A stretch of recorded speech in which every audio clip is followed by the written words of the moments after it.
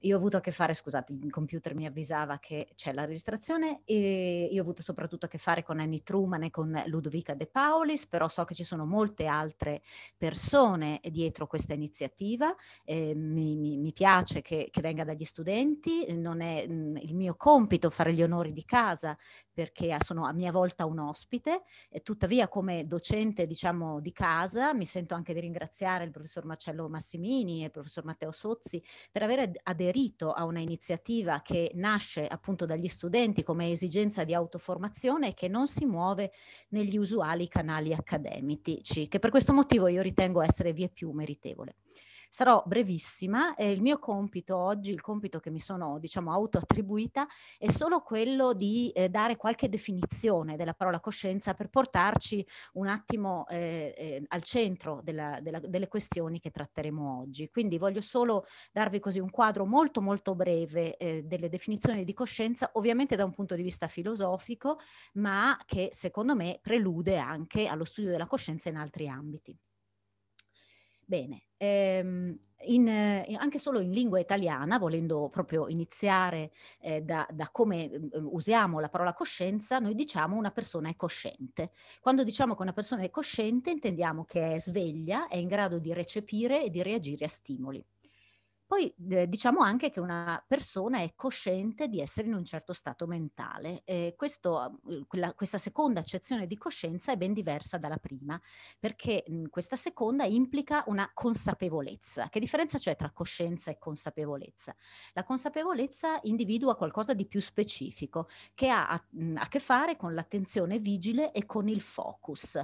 Eh, quando siamo eh, coscienti di essere in un certo stato mentale, la nostra attenzione è rivolta ai nostri stati mentali. Eh, una terza accezione in cui eh, si può intendere la coscienza è espressa dalla frase gli esseri umani sono coscienti dei loro stati mentali, mentre la, la seconda definizione è, si definisce come una sorta di, eh, di, di state consciousness, perché il problema è che siamo coscienti di uno specifico stato mentale, mentre possiamo non essere coscienti di altri nella terza definizione è implicata una sorta di creature consciousness, perché eh, stiamo parlando del fatto che alcuni tipi di, ehm, di, creature, diciamo, sono coscienti dei loro stati mentali. Però quando eh, parliamo del fatto che gli umani sono coscienti dei loro stati mentali, eh, in realtà eh, abbiamo in mente qualcosa di più eh, complesso, eh, abbiamo in mente molto spesso la cosiddetta autocoscienza che è una forma di consapevolezza di sé. Cioè noi come esseri umani siamo consapevoli del nostro agire, del nostro corpo, della nostra vita mentale.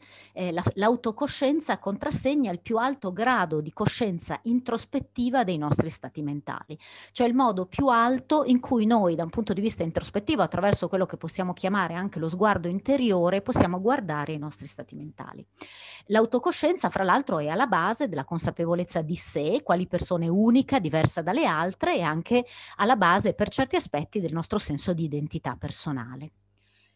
Eh, i, le, la prima e la terza definizione che riprendo in questa slide, una persona è cosciente, cioè è sveglia, in grado di recepire e di reagire a stimoli, e la terza, gli esseri umani sono coscienti dei loro stati mentali, nel senso dell'autocoscienza, sono probabilmente tra le definizioni che ho dato finora quelle più eh, rilevanti sul piano clinico, quelle più utili per poi eh, procedere a definire eh, dei disturbi della coscienza, come per esempio lo stato vegetativo, lo stato di coscienza minima. Eh, potremmo però dire ancora qualcosa di più specifico a proposito della definizione di coscienza, eh, utilizzando per esempio una frase come una persona è cosciente di qualcosa. Cosa intendiamo quando diciamo che una persona è cosciente di qualcosa? Anzitutto, di cosa siamo coscienti? L'oggetto, diciamo, della nostra coscienza è tipicamente un pensiero o un contenuto percettivo. Io sono cosciente di che domani è eh, giovedì, eh, io sono cosciente che qui davanti a me c'è eh, una penna e un quaderno. Eh, ma quando una persona è cosciente di un pensiero o di una percezione, a che condizioni diciamo che una persona è cosciente di un pensiero o di una percezione? Beh, una persona è cosciente di un pensiero, di una percezione quando riesce a rappresentarselo mentalmente. Qui ho messo tra parentesi una cosa che è utile solo per i filosofi, ma almeno volevo dare un hint per chi viene ehm, da un certo tipo di percorso, quando in realtà riusciamo appunto a trattenere intenzionalmente, nel senso brentaniano, un pensiero, una percezione dentro la nostra mente.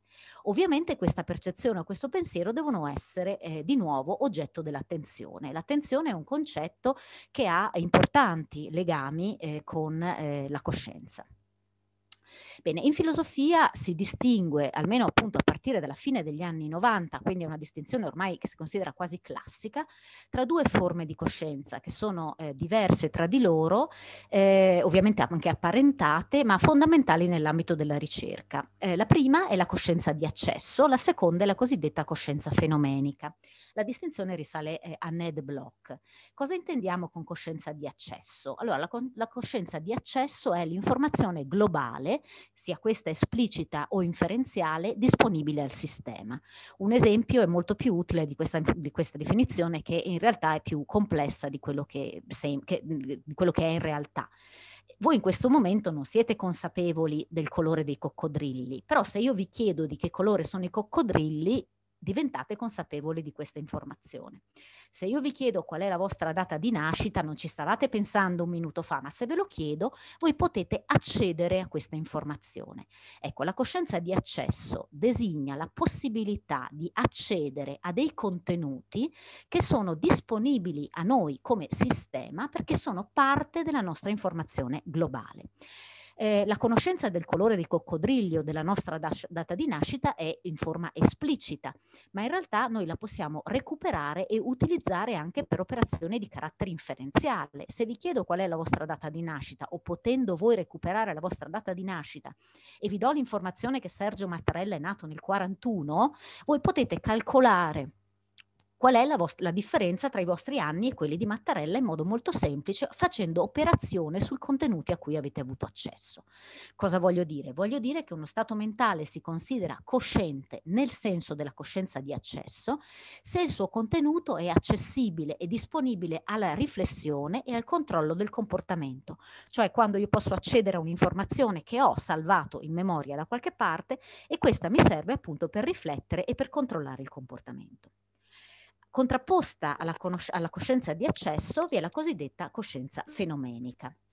Cosa si intende con coscienza fenomenica? La coscienza fenomenica descrive le sensazioni, quelle che nel gergo filosofico vengono denominate qualia. La nostra percezione, sia questa esercitata con i sensi esterni oppure con i sensi interni, eh, è caratterizzata da sensazioni coscienti. Ehm, mh, e provare una certa sensazione fa un certo effetto. Cioè, se per esempio avete mal di denti, avere mal di denti vi dà una sensazione abbastanza chiara che non confondereste mai con la fame, perché c'è un aspetto qualitativo nel mal di denti. Ovviamente i mal di denti vi danno anche un pezzo di informazione, che i vostri denti hanno un problema. Ma il problema non è che questa informazione non vi arriva in un modo neutrale, non vi arriva in un modo freddo, vi arriva attraverso una proprietà qualitativa specifica che è la sensazione specifica del mal di denti. Qui ho fatto vari esempi che, divent- che, che provengono da varie modalità sensoriali. Il sapore del merlot e il fatto che riesco a distinguere che è un merlot. Eh, sapere che un merlot è un pezzo di informazione, ma eh, il, il, fatto che sia un merlot io lo comprendo perché il che sia merlot mi dà una particolare sensazione, in questo caso gustativa. L'odore del latte bruciato mi dice che ho bruciato il latte, ma è, è, mi dà anche una particolare sensazione, in, in, inglese si dice un what it is like, cioè una, un aspetto qualitativo. Allora, tutte le sensazioni eh, nel, nell'universo umano, più in generale potremmo persino dire nell'universo delle creature viventi probabilmente, le sensazioni hanno un aspetto cosciente, cioè hanno un aspetto qualitativo specifico e tramite queste qualità noi accediamo a delle informazioni, per esempio che il mio dente ha un problema o che quello che sto bevendo è merlot e non il tavernello eh, o, o, o simile. Quindi eh, in realtà c'è questo aspetto della coscienza che ha a che fare con le sensazioni, con l'aspetto qualitativo delle sensazioni, che chiamiamo qualia, che è del tutto peculiare anche perché le sensazioni sono soggettive e del tutto ehm, diciamo accessibili solo alla prima persona per via introspettiva. Voi mi potete dire di avere mal di denti, ma io non posso saperlo in maniera diretta perché il mal di denti è accessibile soltanto alla prima persona, cioè al soggetto che la sta vivendo, in maniera diretta tramite quella quella che chiamiamo introspezione. Bene, eh, la coscienza eh, ha anche delle funzioni di, in, di organizzazione e integrazione del, dell'informazione. Quando noi percepiamo, percepiamo attraverso modalità sensoriali diverse, la visione, il tatto, l'olfatto, però noi non siamo consapevoli di queste sensazioni che vengono da vari canali in maniera, eh, in maniera diciamo, disorganica. Noi diventiamo consapevoli di quello che percepiamo in modo già perfettamente organizzato, già integrato in maniera eh, multisensoriale, ehm, eh, già eh, integrato in maniera multisensoriale e organizzato in maniera spaziale e temporale secondo anche un flusso di coscienza che tiene conto della conoscenza di sfondo e, e della memoria. Ecco, molte teorie contemporanee si basano sull'idea che la coscienza sia primariamente una funzione di integrazione dell'informazione. Ok, eh, qualche problema nello studio della coscienza che viene eh, considerato particolarmente rilevante eh, soprattutto nell'ambito della filosofia ma che ha delle ripercussioni anche in altri ambiti. Eh, anzitutto la cosiddetta asimmetria epistemologica. Ci sono due modi possibili di studiare la coscienza che appaiono però essere radicalmente diversi tra di loro. Anzitutto possiamo studiare la coscienza da una prospettiva di prima persona, cioè possiamo studiare la coscienza così come questa appare a ciascuno di noi attraverso, eh, attraverso il, la, la percezione interna. Quindi la coscienza possiamo studiarla dal punto di vista di come ci appare, di come la viviamo, oppure la possiamo eh, studiare attraverso lo studio dei correlati funzionali e neurali della coscienza. La cosiddetta asimmetria epistemologica eh, nasce dal fatto che questi due approcci alla coscienza sembrano completamente diversi ed eterogenei tra di loro, cioè studiare i correlati neurali della coscienza e studiare la coscienza così come questa si rivela a noi sul piano mentale sembrano due cose totalmente diverse, che non hanno un reale punto di contatto. Questa cosiddetta eh, asimmetria epistemologica per alcuni autori prende proprio la, la forma di una sorta di explanatory gap, di gap esplicativo che eh, è difficile da, da colmare. Eh, questa storia dell'explanatory gap si può spiegare, secondo me, molto rapidamente e molto facilmente a partire da un vecchio esperimento mentale di Leibniz tratto dalla monadologia. Leibniz ci dice, supponiamo di, eh, di, mh, di poter espandere un, un cervello, di poterlo gonfiare, di poterci camminare dentro, potendolo osservare. Oggi potremmo dire, supponiamo di avere delle tecnologie che ci permettano di vedere il cervello in totale trasparenza, in vivo ovviamente, non in, durante un'autopsia. Che cosa vedremmo in questo caso, camminando dentro un cervello? E, e, e, la risposta è vedremo processi cerebrali, quindi vedremo processi che hanno a che fare con la materia. Oggi potremmo dire vedremo neuroni e sinapsi che propagano ehm, impulsi nervosi. Eh, ma è tutto quello che c'è da dire della coscienza? La risposta che la filosofia, che molta parte della filosofia dà è no, cioè vedere le sinapsi e vedere i neuroni non è vedere la coscienza così come ciascuno di noi la conosce dal punto di vista della prima persona, da un punto di vista introspettivo. Ecco così che Chalmers, per esempio, sostiene che anche se chiarissimo fino in fondo i correlati neurali della coscienza, nessuna descrizione di tipo fisico del cervello potrebbe spiegare la coscienza così come noi la esperiamo introspettivamente in prima persona. Bene, eh, e con questo concludo eh, già questo brevissimo sketch di caratteristiche della coscienza che dovrebbe insomma, portarci un po' eh, al centro della discussione di oggi, evidenzia eh, tre do- linee di eh, quesiti principali che concernono questo argomento. Un carat- un primo, una prima linea di carattere descrittivo e, e la domanda che si pone è cos'è la coscienza, quali sono le sue principali caratteristiche. Una seconda linea di intervento invece è di carattere, ha a che fare con l'origine della coscienza, cioè da dove deriva la coscienza, qual è l'origine della coscienza, cosa permette di realizzare la coscienza, com'è possibile che la materia dia origine alla coscienza. E la terza domanda invece è di carattere funzionale ed è eh, a che cosa serve la coscienza, cioè qual è la sua funzione. Ha una rilevanza causale, rispetto a che cosa ha una rilevanza causale? È diverso per un sistema essere o non essere cosciente. Potremmo immaginare delle creature cognitivamente identiche a noi, ma alle quali manca la coscienza. A quel punto sarebbero davvero creature che funzionano come noi? Bene, queste sono le tre principali linee di intervento sulle quali si muove quantomeno la ricerca filosofica, ma che a mio avviso eh, servono anche un po' per disegnare il campo all'interno della ricerca empirica, sia questa biologica, medica o eh, eh, neuroscientifica. Con questo concludo, eh, vi ringrazio per aver ascoltato e direi che le domande forse le lasciamo alla fine così lasciamo che anche gli altri facciano i loro, insomma, offrano i loro contributi e mettiamo poi insieme i risultati di tutto quanto. Grazie molte. Grazie a lei professoressa Dell'Antonio. Allora adesso eh, lascio la parola a Ludovica De Paulis che invece è una studentessa presso il CIMEC, quindi eh, a Rovereto, insomma, studia da noi a Rovereto e ha fatto una triennale di filosofia, quindi ha approfondito molto questi temi, in particolare sulla coscienza, e quindi ci presenterà un po' eh, quello che ha studiato, approfondito nel tempo. Prego, Ludovica. Ciao, allora io come ha detto Annie sono la, una collega della maggior parte di voi e appunto studio al CIMEC e il mio background è filosofico, per cui quello voglio, di cui voglio parlarvi oggi appunto eh, la relazione tra coscienza neuroscienze e coscienza intelligenza artificiale, in particolare come si inserisce nel dibattito della filosofia della mente di stampo analitico eh, anglosassone, quindi americano, australiano e eh, inglese. Partiamo da delle definizioni di tipo, eh, di, di, delle teorie diciamo generali a cui si appoggiano li, la neuroscienza e l'intelligenza artificiali e i principi su cui si basano queste teorie e le eventuali critiche a queste teorie, per poi giungere a degli argomenti che ci eh, aiuteranno a capire meglio di che cosa si tratta la coscienza. Eh, la, prima, la, prima, teoria che vi presento è appunto quella del riduzionismo, che è una teoria sistemica che chiarisce dei concetti appartenenti a una teoria, riducendoli a concetti di una teoria, presumibilmente perché è ritenuta più fondamentale. Quindi si tratta di ridurre un'entità o un evento A a, un o a un'entità o un evento di tipo B, presumibilmente appunto perché il, la, l'entità B non può essere spiegata se non in termini della, dell'entità eh, A. Eh, scusate, l'entità A non può essere spiegata in termini dell'entità B. Eh, per cui è come se eh, diciamo, l'entità B fosse necessaria per spiegare l'esistenza dell'entità A. Come si dice Chalmers in The Conscious Mind, che è appunto il libro eh, scritto da lui, il presupposto basilare del riduzionismo è la teoria dell'identità.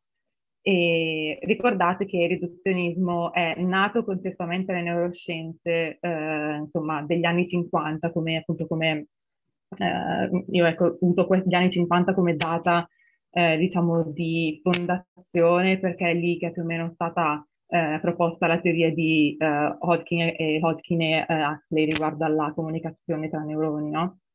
Eh, però in realtà il riduzionismo è una teoria che, rifà, cioè, che riguarda tantissime altre scienze empiriche.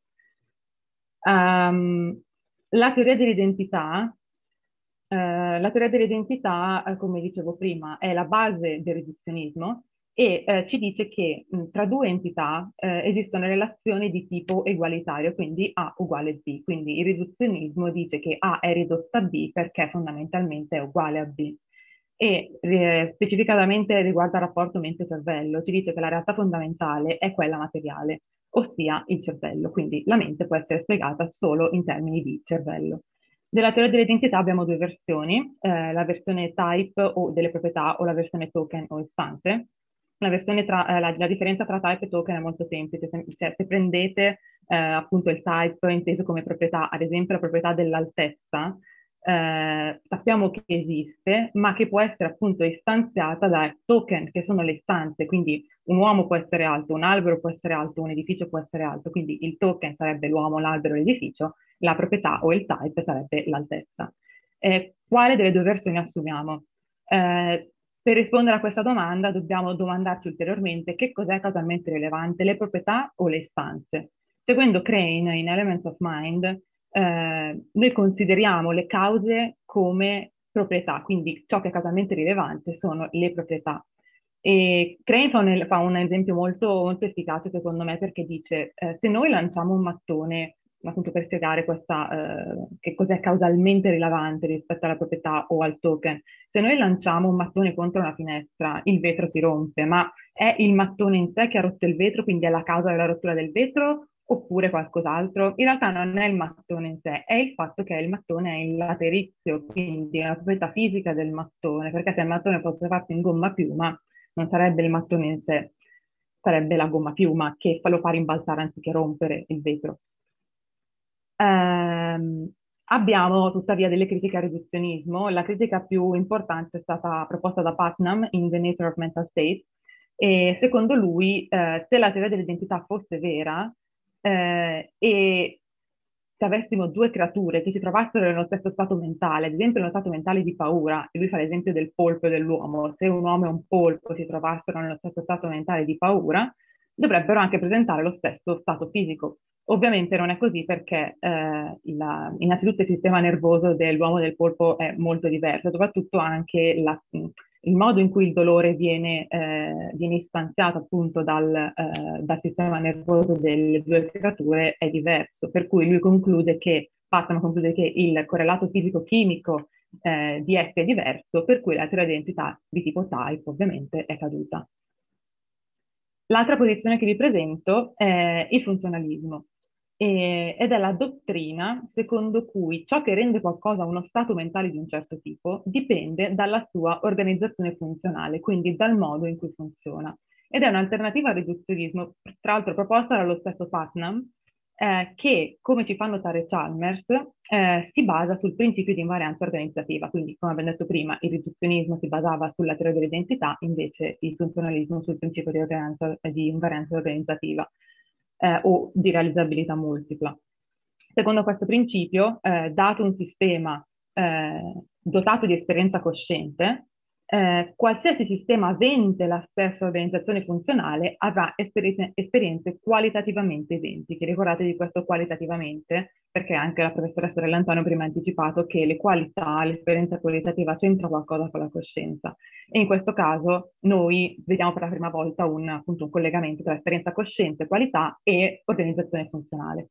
Come diciamo corollario del principio di invarianza organizzativa abbiamo che un'organizzazione funzionale ehm, può essere realizzata per mezzo di sistemi fisici diversi. Quindi nel caso, eh, se riprendiamo appunto l'analogia mente-cervello, eh, una mente può essere anche eh, supportata non solo da un cervello, ma da una qualsiasi eh, da una qualsiasi supporto fisico che abbia la stessa organizzazione funzionale del cervello, ad esempio una rete neurale implementata su un computer. E infatti il funzionalismo è nato in grembo ai primi studi sull'informatica e l'intelligenza artificiale, eh, che sono, diciamo, esplosi dopo che Turing, eh, che è un matematico molto famoso eh, inglese, eh, nel 1950 sulla rivista Mind ha pubblicato un articolo dal titolo veramente disturbante, cioè le macchine possono pensare, e ha inventato addirittura questo test, il test di Turing, che si basa sul gioco dell'imitazione, ovvero se le macchine sono in grado di imitare il comportamento dell'uomo, esse pensano come l'uomo. E questo test e eh, la relativa teoria che Turing comunque ha supportato eh, sono eh, ciò che sta alla base tutt'oggi dell'intelligenza artificiale forte, che è una corrente di pensiero filosofica e non solo, che supporta la capacità delle macchine, eh, dell'intelligenza artificiale, di eh, poter eh, implementare funzioni mentali di tipo alto, quindi ad esempio anche la coscienza. E vi ho messo due immagini per farvi capire di che tipo di, di ricerca stavamo parlando, per esempio von Neumann, l'architettura di von Neumann e la macchina di Turing sono due tipi di eh, architetture che, stanno, che appunto erano state eh, inventate, mh, mm, che erano state studiate all'epoca ecco, e che oggi danno eh, la, la base, sono la base dell'informatica moderna e addirittura la macchina di Turing, vi faccio notare, era dotata di quattro stati, come i nostri stati mentali, che dovevano riprodurre i nostri stati mentali. Anche il funzionalismo è stato eh, passibile di critica perché eh, alcuni filosofi hanno rivisto nel funzionalismo una nuova versione della teoria dell'identità. E come Crane, sempre Crane ci dice in Elements of Mind, il funzionalismo tipicamente tenta una, una definizione riduzionista delle nozioni mentali, perché, vediamolo un attimo, cerchiamo di spacchettare l'argomento. Eh, le proprietà funzionali, quindi ricordatevi, sempre, proprietà, sempre di proprietà si parla perché sono quelle causalmente efficaci, le proprietà funzionali, secondo il funzionalismo, necessitano di un sostrato fisico di base. Questo perché eh, non, non, è possibile pensare a una mente senza un sostrato fisico che sia organizzato in un certo modo. Dall'altra parte, le proprietà funzionali dipendono dalle proprietà fisiche, cioè siccome le proprietà funzionali sono comunque supportate da un sostrato fisico, esso, il sostrato fisico, ha anche delle proprietà fisiche, che sono le cosiddette proprietà di primo ordine. E siccome le proprietà funzionali dipendono da queste proprietà fisiche di primo ordine, vengono dette proprietà di secondo ordine. Si ottiene dunque una teoria di tipo eh, dell'identità di type di secondo ordine, che è già caduta perché riguarda le proprietà di secondo ordine che vengono ridotte al sostrato fisico e, e, che quindi chiaramente rientrano in tutta la critica che abbiamo visto prima della teoria dell'identità. Per riprendere l'esempio del mattone e del laterizio, ehm, in, se nel caso della teoria dell'identità, della, dell'identità che abbiamo visto prima c'era questo, c'era questo problema dell'essere laterizio del mattone che causa la rottura del vetro, quindi causalmente efficace è l'essere laterizio del mattone, il suo, eh, il suo sostrato fisico, in questo caso lo sono le proprietà di secondo ordine funzionali, ovvero il fatto di essere parallelepipedo, il fatto di avere un certo peso, di avere una certa accelerazione impressa e, e via dicendo. Um, a questo punto giungiamo a eh, questo fatidico dubbio, cioè come spiegare l'autonomia della mente, se non dipende causalmente da un sistema fisico e neanche dalla sua organizzazione funzionale eh, osserviamo che due fenomeni tipicamente sfuggono alla dipendenza da, causale, sempre da un sostrato fisico, ma anche dalla riproduzione della coscienza della mente, sì, della mente su, un, su un, supporto artificiale. La prima è l'intenzionalità, che eh, l'intenzionalità non è altro che una collezione di stati mentali rappresentativi che sono una manipolazione eh, di simboli, cioè noi intenzioniamo una serie di stati, una serie di, mh, di rappresentazioni eh, che appunto diventano simboli all'interno della nostra, della nostra mente, del funzionamento della nostra mente. Notare che questo è un tipo di operazione consapevole, cosciente. Ed ecco che arriviamo alla seconda parte, cioè il secondo fenomeno che sfugge, è appunto la coscienza, che è stato, eh, si, è detto che, e si dice tuttora, io condivido assolutamente, che è un fenomeno talmente ovvio, a tal punto che non si riesce a definirlo. Per cui se fugge a, a, a definizioni, in realtà esistono anche dei, dei, dispositivi chiamati esperimenti mentali o semplicemente argomenti che possono aiutarci a capirne e a provarne l'esistenza, così come l'autonomia. E adesso eh, ve ne presento tre molto famosi.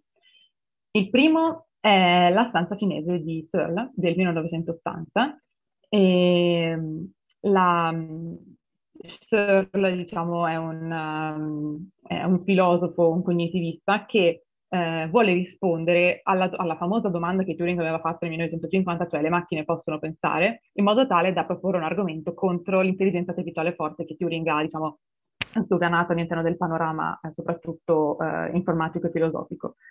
Eh, lo scenario è questo. Searle si immagina all'interno di una stanza eh, e deve comunicare in cinese con qualcuno all'esterno di questa stanza. Ha un canale di input in cui gli vengono presentati i caratteri cinesi, un canale di output, questo qua in cui deve inserire la risposta scritta in cinese, e poi questo dizionario delle regole.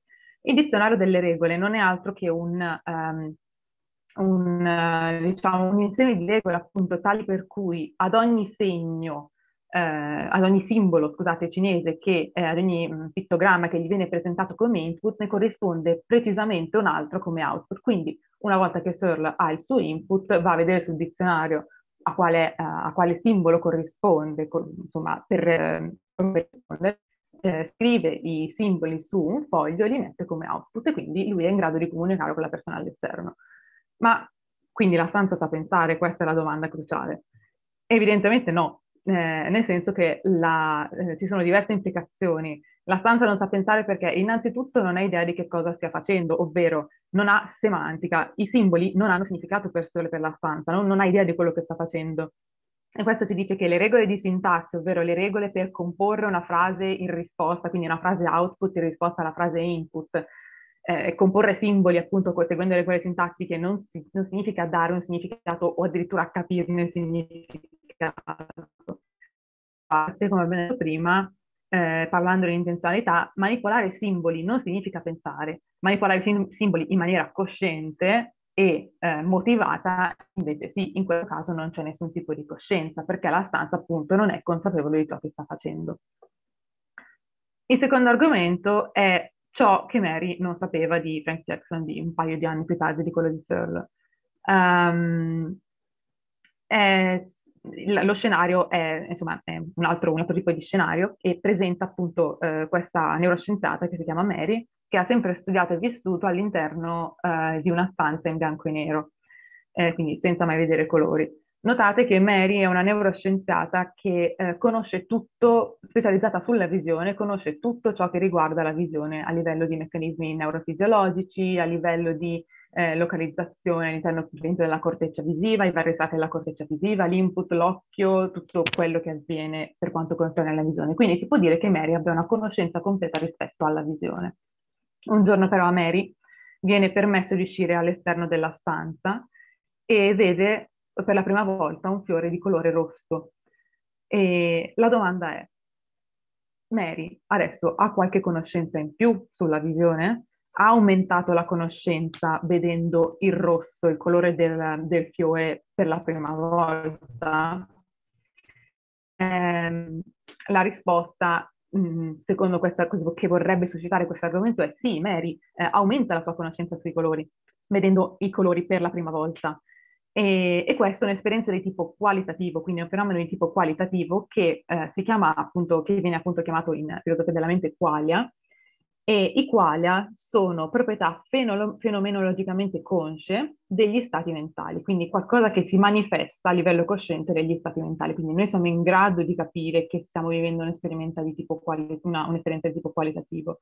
E eh, come ho detto prima, è una uh, proprietà in, sono una proprietà imprescindibile, una, diciamo, una, eh, proprio una caratteristica imprescindibile della coscienza. Sono diverse dai dati quantitativi, quindi non si possono quantificare, ma, e sono soprattutto, come ho detto prima, esperienze coscienti e soggettive.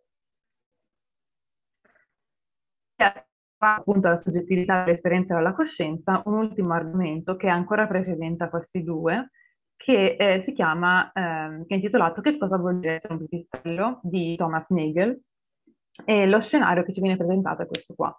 Eh, ricordate che questo in realtà è un argomento proprio ehm, fatto per mettere l'ascoltatore e il lettore nei panni di qualcuno che ragiona ecco, sul, sul, fenomeno della coscienza. Per cui lo scenario è questo. Eh, Nagel ci dice provate a immaginare un uomo e un pipistrello lui prende un ramo pipistrello perché effettivamente sono due mammiferi, quindi comunque a livello sono sullo stesso ramo, diciamo così, um, però funzionano in maniera abbastanza diversa da poter essere comparati l'uno con l'altro. Funzionano in maniera diversa, prima di tutto per il modo in cui eh, si muovono all'interno dello spazio, quindi l'uomo cammina, il pipistrello vola, e anche per il modo, ad esempio, in cui riconoscono navi, sì, proprio si orientano nello spazio, no? Quindi l'uomo per lo più usa la vista, il pipistrello per lo più usa l'ecolocalizzazione. Um, la domanda che si pone è, noi potremmo, possiamo sapere, che, sappiamo che cosa significa essere un pipistrello? Eh, no, lui dice noi possiamo solo immaginarlo, ma non sapremo mai che cosa significa essere un pipistrello, perché abbiamo dei limiti che sono imposti dalla nostra stessa mente. Questi sono limiti in particolare di tipo cognitivo e di tipo linguistico. Limite cognitivo perché appunto la nostra stessa mente umana ci impedisce di avere una conoscenza eh, di tipo qualitativo di che cosa significa essere un pipistrello, quindi coscienza di essere un pipistrello. Linguistico perché, come abbiamo detto prima, la coscienza è a prescindere un'esperienza eh, indefinibile, eh, difficile da comunicare, difficile da esprimere, da eh, proprio da circoscrivere e quindi soprattutto a maggior ragione se parliamo di una coscienza di un animale. E, ehm, questo argomento come corollario si, an- si, si, diciamo, si, contrappone anche alla visione materialistica eh, e, e perché appunto ci dice che un sostrato fisico non garantisce un certo tipo di coscienza. Infatti, poi proseguendo nell'argomento, Nagel dice se anche io dovessi ehm, dovessi trasformarmi gradualmente in un pipistrello, quindi le mie gambe si trasformassero in zampe, poi le mie braccia in ali, poi mh, iniziassi a, a orientarmi con l'ecolocalizzazione, anche se gradualmente diventasse un pipistrello, comunque non avrei coscienza di cosa significa essere un pipistrello, perché la somma delle parti del mio corpo non è sufficiente per mh, farmi capire che cosa vuol dire, per avere coscienza di che cosa vuol dire essere un pipistrello. Quindi, conclusione, eh, che sappiamo sulla coscienza è che è indefinibile, ma in qualche modo dimostrabile, dimostrabile non a livello empirico chiaramente, ma eh, intuibile, ok? ehm, è una collezione di esperienze o dati qualitativi e soggettivi, quindi qua anche il problema della simmetria epistemica che citava la professoressa Dell'Antonio. Necessita di un sostrato fisico che garantisce il qui ed ora, quindi un continuum spazio-temporale, ma non è totalmente né funzionalmente legato ad esso. Quindi c'è sì il sostrato fisico, ma non è, il sostrato fisico non è la causa dell'esistenza della coscienza, semplicemente la supporta. E infine sembrerebbe inconsistente con un'intelligenza artificiale di, di tipo forte e ovviamente anche come ridotta al semplice e puro eh, funzionamento cerebrale. Detto questo, io vi ringrazio e vi ho anche messo una bibliografia, poi insomma libri e articoli che ho citato che sono molto interessanti e che vi invito a leggere se siete interessati all'argomento. E ringrazio anche i ragazzi di Unitin che si sono sforzati tantissimo per rendere questo incontro accessibile a tutti tutto ben, organizzato. E niente, se avete domande o se volete le slide o la bibliografia, contattatemi. Grazie. Esatto, poi le domande alla fine lasceremo spazio. Adesso faccio parlare il professor Marcello Massimini, se vuole condividere delle slide, e prego.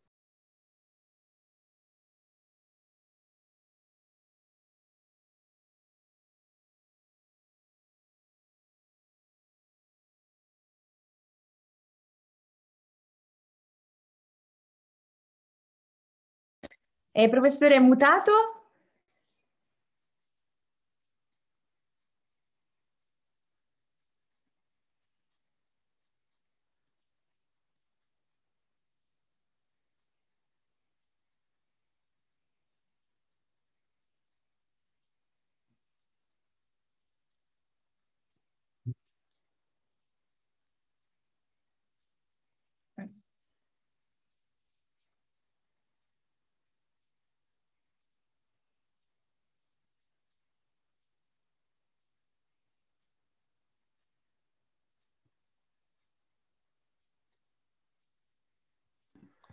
Scusate, mi si era bloccato tutto. Ci sono, arrivo, condivido e parto.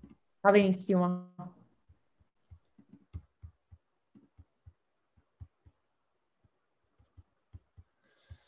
Allora, scusatemi. Eccoci qua.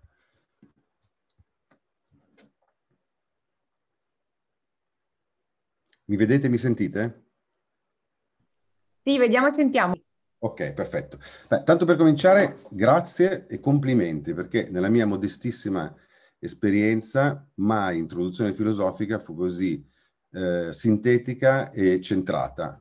Per cui mi aiuta tantissimo perché molti dei concetti eh, che avete esposto li riprendo ovviamente dal punto di vista di un neurofisiologo, cioè di uno che osserva questo sistema fisico e cerca di fare delle misure e eh, in particolare quello che vi propongo è un viaggio, un po' un tour de force sintetico, ehm, nel cervello, nella materia del cervello, alla ricerca della coscienza. In pratica questa traiettoria risponde a una delle domande che avete sollevato, cioè come fa questo sistema fisico a volte a generare coscienza, a volte no.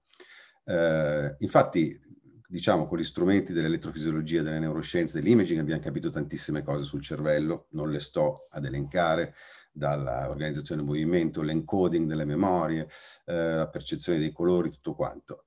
Poi rimane un mistero fondamentale, cioè a volte l'attività del cervello cambia, a volte anche in modo non particolarmente significativo e noi non esistiamo più e l'intero universo collassa. Succede tutte le notti quando ci addormentiamo eh, entriamo in una fase profonda N3 di sonno senza sogni, eh, succede quando ci viene somministrato un anestetico e purtroppo succede anche a seguito di lesioni cerebrali. Capire i meccanismi del recupero, della perdita del recupero di coscienza nel cervello fisico è fondamentale, cioè non è solo una esigenza, se vogliamo, esistenziale o scientifica, ma è anche un problema clinico ed etico, perché se non lo facciamo, se non lo capiamo e se non impariamo a misurare questi meccanismi, rischiamo addirittura di non vedere la coscienza nei nostri simili in alcuni casi.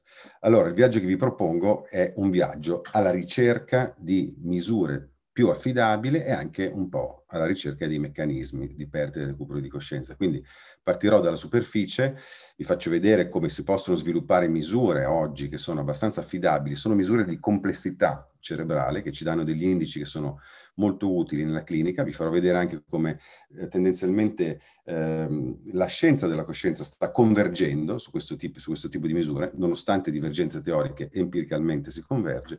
E poi andremo un attimino, ma proprio un attimino all'interno del cervello per capire quali sono anche i meccanismi di perdita e recupero di complessità e perdita e recupero di coscienza. Ovviamente questo è importante se vogliamo davvero poi aiutare anche i pazienti a recuperarla. Quindi sicuramente toccherò dei temi filosofici, tanta neurofisiologia e un po' di clinica. Partendo dalla clinica, e qui non dirò più di tutto perché poi eh, il professor Sozzi eh, vi parlerà estesamente di questo ed è un tema molto interessante, come facciamo tipicamente a decidere se qualcuno è cosciente o meno.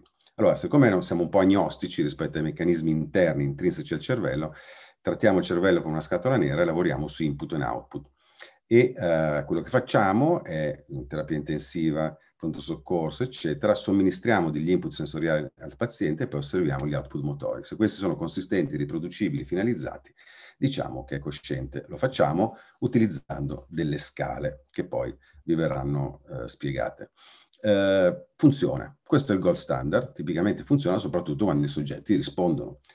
Il problema è che a volte può capitare che il soggetto sia cosciente, capisca benissimo l'input che gli viene dato, ma non riesce semplicemente a esprimere nulla perché è paralizzato. Ci sono diversi modi di essere bloccati sul versante dell'output, eh, ci sono mille modi.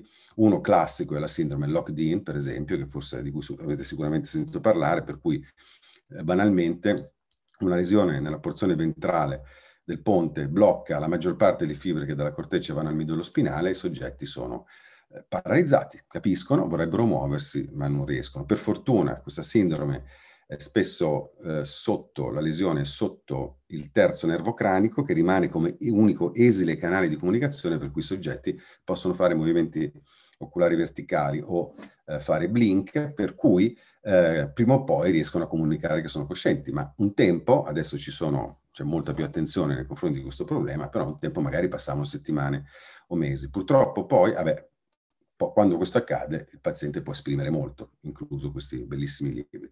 A volte purtroppo però accade che i pazienti si configura una sindrome di locked-in totale, dove neanche questo canale è disponibile. Se ci pensate bene, eh, questa è una situazione molto paradossale ma reale in cui il paziente non riesce a far sapere fuori che, eh, che, lui, che lui, c'è. Eh, d'altra parte non solo gli output sono un problema, il blocco degli output. In alcuni pazienti sono gli input a essere bloccati. Anche questo può avvenire a diversi livelli, a livello delle vie di senso, a livello delle cortecce sensoriali e così via. Eh, per esempio, questo è un paziente che ha una lesione sinistra, per cui è afasico, non capisce comandi verbali e ha anche una lesione, non so se qua si vede o no, non si vede, nel tronco encefalico, per cui anche eh, la trasmissione di altre modalità è compromessa. Questi sono pazienti difficili, questo paziente non risponde perché fa fatica a elaborare eh, l'input che gli viene dato. Di fatto, la terapia intensiva ha fatto progressi e adesso salva tante persone grazie alla respirazione artificiale e tutti gli altri supporti che 50 anni fa non sarebbero sopravvissute. La conseguenza è che però sopravvivono anche cervelli che prima non esistevano e a volte queste sono delle isole di tessuto corticale, talamo corticale, a volte l'emisfero destro, a volte sinistro, a volte la parte posteriore del cervello, a volte strane configurazioni, arcipelaghi di isole che sono strutturalmente intatte e metabolicamente attive in un mare di devastazione e spesso disconnesse da input e output. Abbiamo mh, esaminato il problema di queste isole di coscienza insieme a Daniel Seth e a Tim Bain, che è un filosofo Monash University, e, um, però da un punto di vista più, diciamo, teorico, eh, se vogliamo, etico-filosofico. Però questo problema che si pone davvero ed è un problema pratico perché i pazienti potenzialmente in questa condizione di coscienza disconnessa, isole di coscienza non accessibili da fuori, sono tanti, circa la dimensione di una città solamente negli Stati Uniti. Cosa si prova a essere un grosso pezzo di cervello o anche tutto il cervello disconnesso da input e output è difficile dire dalla prospettiva estrinseca di un approccio eh, input-output. E quello che sappiamo sicuramente è che la coscienza può essere presente nel cervello senza che venga scambiato un bit di informazione con l'esterno, perlomeno hic et nunc. Questo succede tutte le notti ancora, però quando sogniamo. C'è una certa porzione della notte, che non è solo il REM, ma anche alcuni stadi, tipo l'N2, addirittura a volte in, in, alcuni punti dell'N3, in cui si sogna. E questa coscienza vivida, intensa, dolorosa, gioiosa, dipende, è generata tutta dentro il cranio. Quindi, di fatto, produciamo isole di coscienza, eh, sappiamo che la coscienza può essere generata dentro il cervello, ma non abbiamo sviluppato misure che siano indipendenti da input e output. E non è facile sviluppare queste misure, anche se è chiaramente un'urgenza. Si è provato, hm? cioè eh, ovviamente eh, ci sono dei candidati empirici che sono presi in considerazione, però li abbiamo anche rivisti ultimamente insieme a Christoph Koch, Giulio Tononi e Melanie Bolì, eh, siamo ancora lontani dal target, nel senso che questi candidati, queste misure empiriche funzionano a livello di gruppi, funzionano in media, ma poi quando si passa ai singoli soggetti in diverse condizioni e soprattutto in soggetti con lesioni cerebrali, diventano molto molto meno affidabili. Vi faccio degli esempi, anche qui potrei andare avanti 20 minuti a fare esempi. Livelli di attività cerebrale, è stato preso in considerazione, no? Cervello silente è incosciente, uno molto attivo è cosciente e uno così così è cosciente a livello intermedio. Ci sono mille esempi e mille eh, eccezioni a questa regola, che non è per nulla una regola. Uno per tutti è l'epilessia. Vi faccio vedere un filmino che ho ricevuto da Al Blumenfield, che è un epilettologo di New York. Al tempo zero c'è perdita di coscienza. Metabolismo esplode nei circuiti frontoparietali questo soggetto e poi quando il soggetto riprende coscienza ora, metabolismo va giù, cioè è l'opposto di quello che uno si aspetterebbe. Quindi sì, certo, in media il metabolismo ci vuole, i neuroni devono essere attivi, ma non c'è una relazione lineare e non potremo mai costruire una metrica della coscienza semplicemente guardando l'attività neurale. Altro esempio, forse un po' più interessante, è quella della sincronia. Questa è un'ipotesi che viene dal fatto, mh, da un'osservazione intelligente, cioè quando noi percepiamo qualcosa, un volto, dobbiamo mettere insieme diverse features, avete parlato prima di integrazione, e il correlato neurale di questo binding è il fatto che diverse popolazioni neuronali, anche lontane, si sincronizzano tra loro. Quando si sincronizzano, hanno relazioni temporali, si può inferire che stanno comunicando. E quindi da qui l'idea che la sincronizzazione possa essere un marker efficace della coscienza. Quando c'è sincronizzazione, c'è coscienza. Quando non c'è, non c'è integrazione e non c'è coscienza. Ancora, eh, ci sono tanti esempi che eh, diciamo negano fondamentalmente questo postulato, però quello più calzante forse ancora viene dall'epilessia. Nell'epilessia si ha ipersincronia mh, hm, e perdita di coscienza. Ipersincronia su larga scala, anche in frequenze veloci come il gamma, quelle tipicamente ritenute importanti per la coscienza. In sostanza, ripeto, qui taglio corto, ma per dire non è facile trovare misure che siano interamente basate sull'attività cerebrale e che correlino bene con la presenza e assenza di coscienza. Qui faccio un passo indietro e faccio un passo indietro perché vi voglio eh, sottolineare un articolo che è stato pubblicato vent'anni fa e che ha, ci ha molto aiutato e alla fine, vi farò vedere, non ha aiutato solo noi, ma che è molto utile per risolvere questo problema. L'articolo è stato scritto da un vostro, tra virgolette, concittadino, Giulio Tononi, di Trento, in origine, insieme a Gerard Edelman, e si intitola Conscious and Complexity. Ai tempi era un'idea nuova e rivoluzionaria. Mm? Cosa diceva? Diceva, ma tanto per cominciare, partiamo un po' dalla fenomenologia della coscienza e eh, definiamo quali sono due proprietà fondamentali. Eh, non chiamiamoli neanche assiomi, sono due, sono due, proprietà che comunque caratterizzano ciascuna esperienza cosciente. Sono l'esperienza cosciente, qualsiasi esperienza cosciente, è unitaria e allo stesso tempo differenziata, nel senso ricca di informazione, non tanto per quello che è, ma anche quando noi esperiamo puro buio e silenzio, è ricca di informazioni questa esperienza per tutte le esperienze che sarebbero potute accadere e che non accadono. In questo senso l'informazione o la differenziazione. Da qui taglio ancora molto corto, brutalmente, l'articolo dice ma non dovete misurare quanti neuroni ci sono, quanto sono attivi o semplicemente la sincronia, ma dobbiamo misurare questo bilancio tra unità e diversità nel cervello. che chiamiamo d'ora in poi complessità. Poi questa idea è stata, si è evoluta ulteriormente in questa teoria dell'informazione integrata, molto dibattuta, ma prendiamo per buona questa idea di vent'anni fa. E questa, secondo me, è un'idea buona e originale. E eh, sostanzialmente cosa suggerisce? Molto metaforicamente, suggerisce che c'è una specie di orchestra, se Tononi sentisse come la descrivo, probabilmente, ecco, spero che non senta mai questa descrizione, però lo faccio così proprio per la, per andare veloce, è come se ci fosse un'orchestra dove sono diversi strumenti con diversi spartiti, ognuno con una sua specificità, quindi questo substrato fisico molto ricco e differenziato, che allo stesso tempo si ascolta e interagisce causalmente. E quello che bisogna misurare è la capacità di questa orchestra, la differenziazione e l'unità dell'orchestra. Un modo, sempre metaforicamente parlando, di dare là a uno strumento, a un gruppo di strumenti e vedere che musica esce e eh, fondamentalmente in termini un po' meno metaforici si tratta di stimolare direttamente substrato della coscienza bypassando vie di moto e vie di senso che abbiamo visto possono essere bloccate per misurare la ricchezza, la complessità delle interazioni causali interne. Questa è l'idea, come si fa? Si può fare, perlomeno approssimativamente, utilizzando una combinazione di stimolazione magnetica transcranica e di elettroencefalografia.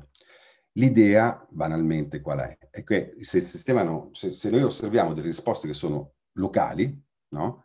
solamente locali, inferiamo che non c'è integrazione. E dunque la predizione sarebbe che in questi casi non c'è coscienza.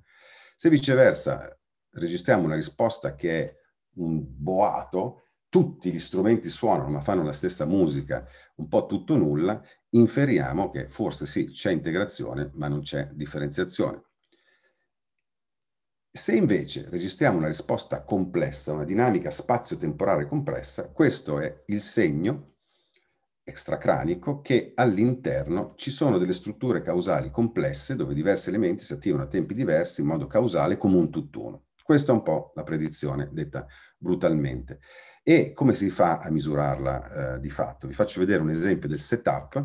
Ehm, dove eh, vedete qui, molti di voi sono familiari con la TMS anche perché al CIMEC voi avete Carlo Mignusi che è stato un pioniere di questa tecnica, quindi la TMS stimola direttamente la corteccia cerebrale, poi abbiamo un sistema di navigazione che ci dice esattamente cosa stiamo stimolando, quanto forte, ci consente anche di essere riproducibili in misure longitudinali e poi l'elettroencefalogramma che registra questi potenziali evocati cortico-corticali. È un po' come bussare direttamente sulla corteccia cerebrale e sentire il rumore che fa, sempre stando su questa metafora un po' sonora. E in questo modo possiamo misurare la complessità in un modo teoricamente rilevante, approssimato ma rilevante. Cosa succede in realtà?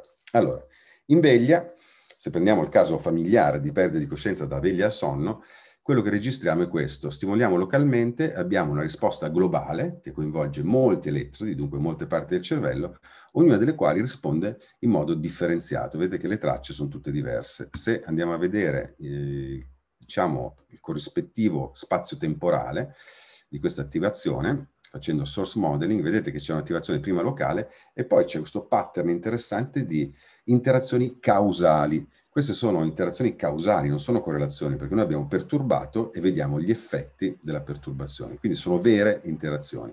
Ma vedete soprattutto che sono complesse, non sono facili da descrivere e durano circa 300 millisecondi, che non è poco per il cervello. Quindi abbiamo eh, attività a lunga distanza, diverse latenze, diverse eh, aree diventano attive a tempi diversi, qui la latenza è codificata in colore.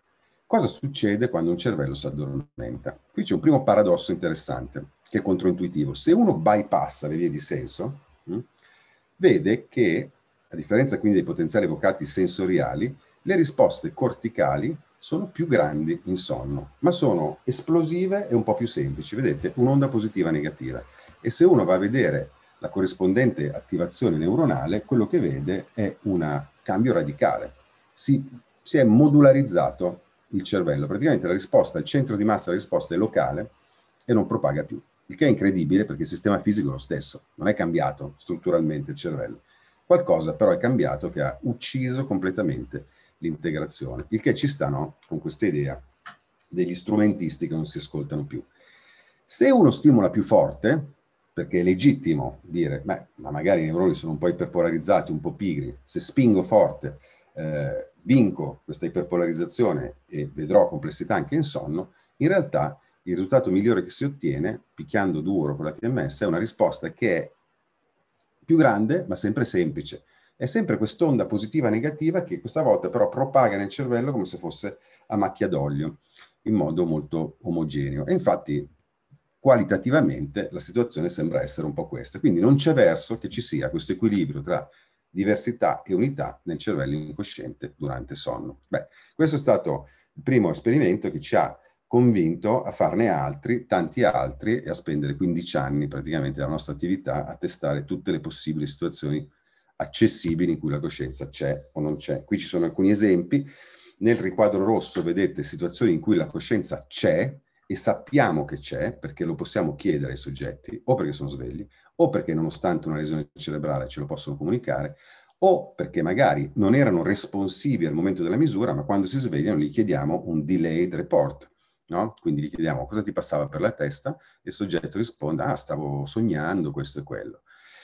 Quindi abbiamo wakefulness, diversi tipi di eh, lesione, il sonno REM e poi lì vedete la chetamina. Perché la chetamina? Perché la chetamina è interessante, è un anestetico dissociativo, ve la faccio breve, in cui il soggetto può subire chirurgia, è disconnesso completamente dall'ambiente circostante, se gli facciamo la coma recovery scale è come se fosse in stato vegetativo, ha pure gli occhi aperti, ma ovviamente è non, non è responsivo, ma è cosciente, cioè eh, è in uno stato allucinatorio molto molto intenso, tanto è vero che la chetamina si usa poco proprio per questa ragione. Quindi abbiamo anche incluso no, in questa benchmark stati di coscienza disconnessa, che è molto importante. E vedete qua a occhio che le risposte sono sempre complesse. Cioè tutte le volte che abbiamo fatto misure e poi i soggetti erano coscienti, o perché ce lo dicevano subito o dopo, abbiamo trovato alta complessità. Anche questo è incoraggiante. Al contrario, in tutti i casi in cui la coscienza non c'era, il soggetto si svegliava e diceva io non mi ricordo niente, non esistevo, vedete queste risposte semplici, che sia anestesia, con midazolam, propofol, xenon o sonno. A questo punto, incoraggiati da questo benchmarking, da questa specie di calibrazione, siamo andati al letto del paziente. Qui non sappiamo. Qui eh, pazienti che non sono responsivi, come abbiamo detto, potrebbero essere coscienti e quindi bisogna fare un'inferenza utilizzando queste misure fisiche. Non c'è altro da fare. Um, cosa succede qua? Allora, qui prima di tutto abbiamo sviluppato una misura, perché in medicina ci vogliono delle misure eh, quantitative di complessità. Fondamentalmente la misura implica ovviamente stimolare il cervello, registrare, eh, fare queste mappe di attività spazio-temporale con una buona statistica, eh, binarizzare queste mappe, per cui spazio e tempo, attività nello spazio e tempo diventano uni e zeri, attivo o non attivo, e poi l'idea di comprimere, zippare, ovvero calcolare la complessità algoritmica di queste matrici. E l'idea è che se c'è sia integrazione che differenziazione, queste matrici saranno larghe e non comprimibili perché non sono ridondanti e quindi alta complessità. Quindi da qui questo indice che si chiama Perturbation Complexity Index che abbiamo prima calibrato nelle condizioni che vi dicevo prima. Quindi abbiamo utilizzato un ground truth per fare la calibrazione dell'indice e per validarlo. Dopodiché abbiamo derivato da queste distribuzioni, che notate sono molto diverse tra coscienza e incoscienza, per cui funziona bene in benchmark, abbiamo derivato un cutoff che abbiamo utilizzato per vedere poi cosa succedeva nei pazienti.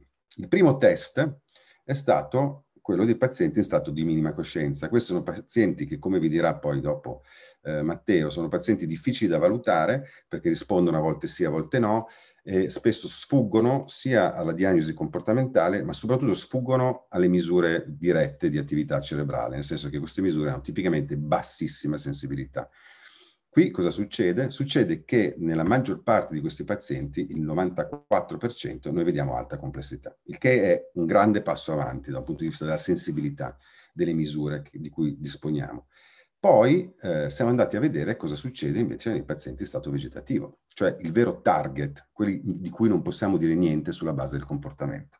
E qui le cose sono molto interessanti perché vediamo che ci sono sì dei pazienti a bassa complessità che sono in uno stato di complessità simile a quello dell'anestesia incosciente, del sonno incosciente, ma vediamo che ce n'è circa un 20% che sono nel range della complessità che tipicamente troviamo solo quando è presente coscienza, sia questa disconnessa o meno. Da qui l'ipotesi che questi pazienti vadano trattati in modo diverso. Non è solo un'ipotesi, perché poi è, abbiamo verificato che questi pazienti hanno traiettorie diverse. Vi faccio un esempio. Prendiamo due pazienti che sono tutti e due non responsivi, paziente 1 e paziente 2, e ehm, apriamo la scatola nera stimolando il loro cervello. Vediamo che il paziente 1 ha un'alta complessità, il 2 una, una complessità bassa. Vi faccio un esempio di traiettoria di paziente 1. Questa, ah, qui ovviamente il, l'idea è che se c'è alta complessità, la coscienza o una capacità di coscienza c'è, non è espressa per problemi di input-output o anche blocco delle funzioni esecutive per diverse ragioni. Adesso vi faccio vedere un esempio di come questo può accadere. Questa è una paziente abbastanza recente che abbiamo studiato, in cui una lesione non grossa ha colpito la, il tronco encefalico, particolarmente il mesencefalo, e eh, la paziente era eh, in stato vegetativo e l'ho, rimasta per diversi mesi. Durante tutto questo periodo, misure ripetute hanno fatto vedere alta complessità. E quindi, ovviamente, essendo anche la paziente giovane, eh, rimane un problema, un dubbio. Abbiamo poi visto che questa lesione coinvolgeva la sostanza nera che rilascia dopamina sui eh, nuclei della base e i circuiti frontali. Quindi abbiamo postulato non uno stato vegetativo, ma sulla base della complessità abbiamo detto stai a vedere che c'è un problema di funzioni esecutive, tipo un Parkinson estremo. Quindi con la dottoressa Comanduce e il dottor Jorge Navarro ad ogni occhio si è deciso di somministrare amantadina a questa paziente che spinge i nuclei della base. Risultato che dieci giorni dopo la somministrazione di amantadina, questa paziente riusciva... Brava, l'altra? A fare questo. Ok, bene, il pollice, di nuovo l'indice. Ottimo, l'indice ancora?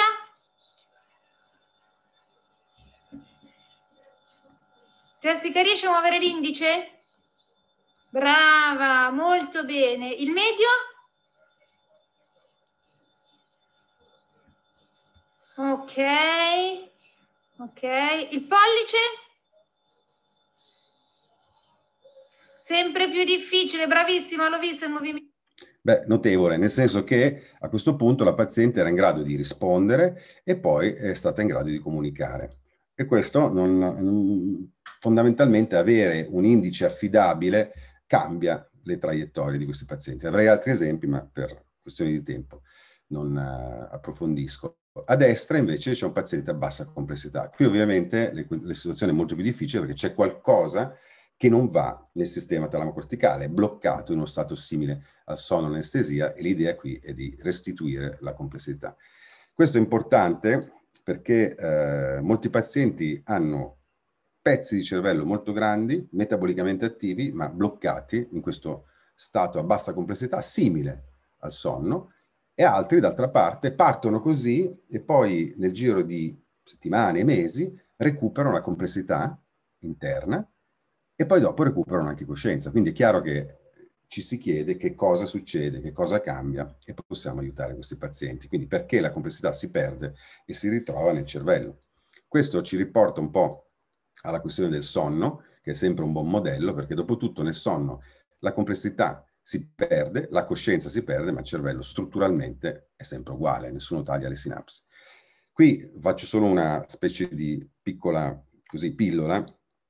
Eh, siamo, penso, vicini a capire perché. Cioè, cosa uccide la complessità e produce queste onde lente? Per capirlo siamo andati a fare delle registrazioni un po' particolari, quindi abbiamo combinato qui a Milano, a guarda, le eh, registrazioni intracraniche e le stimolazioni intracraniche con registrazioni ad alta densità extracraniche. Penso che questi siano i soggetti il cui cervello è più registrato al mondo. Quindi abbiamo elettrodi fuori e vedete queste cose nere sono elettrodi che vanno dentro, fino a 150 contatti che vanno dentro il cervello. Così abbiamo da una parte, e possiamo stimolarli anche, questi elettrodi. Quindi da una parte abbiamo il readout esterno, che ci parla della complessità, dentro possiamo vedere un pochettino meglio cosa fanno i neuroni e possiamo connettere le due cose. Vi faccio un esempio, quindi stimoliamo dentro e registriamo sia dentro che fuori. Fuori vediamo, passaggio da veglia a sonno, la solita perdita di complessità, dentro vediamo una cosa molto interessante. Fidatevi di me, vediamo che in sonno i neuroni dopo l'attivazione, dopo un'attivazione iniziale, si spengono. Questo blu è un silenzio neuronale. poi riprendono l'attività ma in modo stocastico, come se fosse un reboot, e tutte le interazioni causali sono perdute. Questo è un killer per la complessità. Sappiamo bene anche quali sono i meccanismi di questo silenzio, perché è anche un meccanismo tipico che è il meccanismo tipico che sottende le onde lente del sonno. Hm? Quindi possiamo capitalizzare su una letteratura immensa del sonno per capire questa cosa, tanto più che questo è rilevante per i pazienti in stato vegetativo, perché non solo nel sonno fisiologico si ha questo silenzio neuronale perdita di complessità, no? questo soggetto sano che dorme, ondona e silenzio neuronale, ma anche nei pazienti in stato vegetativo. E eh, questo è molto molto interessante, soprattutto perché i pazienti che recuperano piano piano si liberano di questo silenzio neuronale e recuperano complessità. Quindi qui sicuramente c'è parecchio da lavorare. Eh, siccome non ho tempo di dire niente su questo, ma è, è l'argomento che mi piace di più, alla fine vi rimando ad alcuni articoli sui meccanismi recenti che sono interessanti. Questo dice che quando c'è una lesione cerebrale c'è una quota di cervello che se ne va a dormire. Questo dice che non solo la parte vicino va a dormire, ma anche le parti connesse vanno a dormire.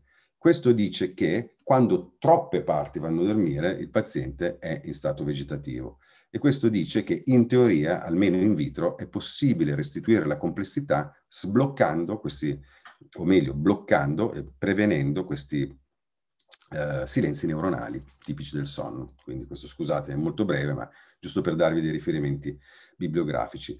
Di fatto, no, questo approccio multiscala eh, che stiamo facendo anche dentro Human Brain Project, complementato da modeling e simulazione computer, dovrebbe essere un modo per capire qualcosa di più e magari per sviluppare delle, dei modi per restituire la complessità. Ora chiudo con due cose. Una è, um, allora, sapete che c'è una atmosfera abbastanza tesa nella scienza della coscienza, ma è giusto che sia così, spesso è così sui temi caldi, no? E quindi c'è un'apparente enorme divergenza teorica. Io penso che questa divergenza teorica che anche si traduce in divergenze empiriche, se vogliamo, è più una questione di come si definisce la coscienza e di come la si vuole, di che cosa si vuole studiare. Vi faccio un esempio. E c'è anche sotto un grande malinteso, perché spesso mh, confondiamo la coscienza con le funzioni esecutive, l'essere col fare, e bisogna stare attenti, secondo me, qua. Vi faccio un esempio. Il tipico esperimento che si fa per capire i correlati neurali di una percezione cosciente mh, eh, è quello di presentare degli stimoli un po' rumorosi e poi di chiedere al soggetto di schiacciare il bottone sì quando ha visto lo stimolo e di schiacciare un altro quando non l'ha visto, oppure di non schiacciare niente quando non l'ha visto. Quando si fa questo tipo di protocolli è noto che si attiva mh, mm, sia la corteccia sensoriale posteriore che il lobo frontale. E da qui no, l'idea che ci sia questo lobo frontale con una funzione eh, determinante, eccetera, eccetera.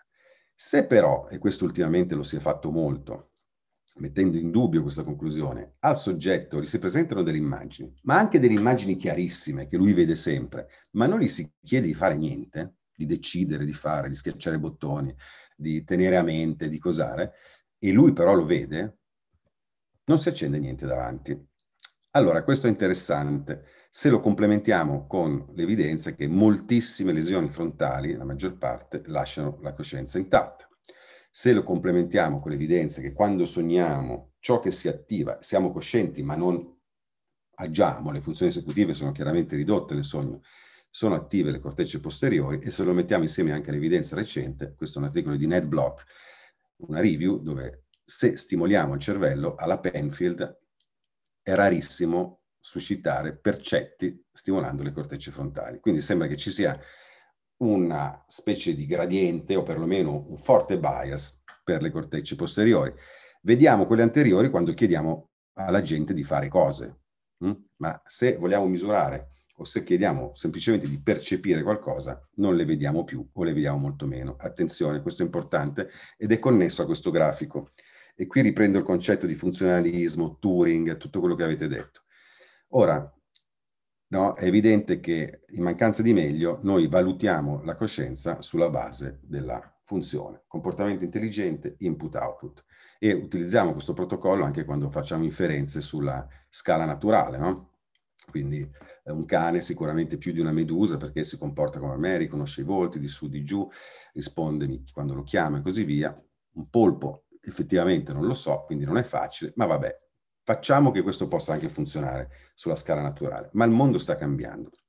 Lo stiamo cambiando noi, producendo, beh, tanto per cominciare, è sempre stato così, il sogno, c'è poca funzione osservabile da fuori e ci può essere parecchia coscienza, ma soprattutto stiamo producendo questi cervelli eh, disconnessi, queste isole di coscienza che su, questa, su questo asse, sull'asse dell'X, sarebbero vicino a zero, mentre invece sono potenzialmente coscienti dentro, intrinsecamente. Dall'altra parte stiamo facendo la dissociazione opposta, stiamo creando macchine che hanno funzioni, velocità, performance incredibile, questo è Watson, questo è AlphaGo però, che ha battuto l'Issedol al gioco più vecchio del mondo, e eh, si pone il problema, no? lo sappiamo.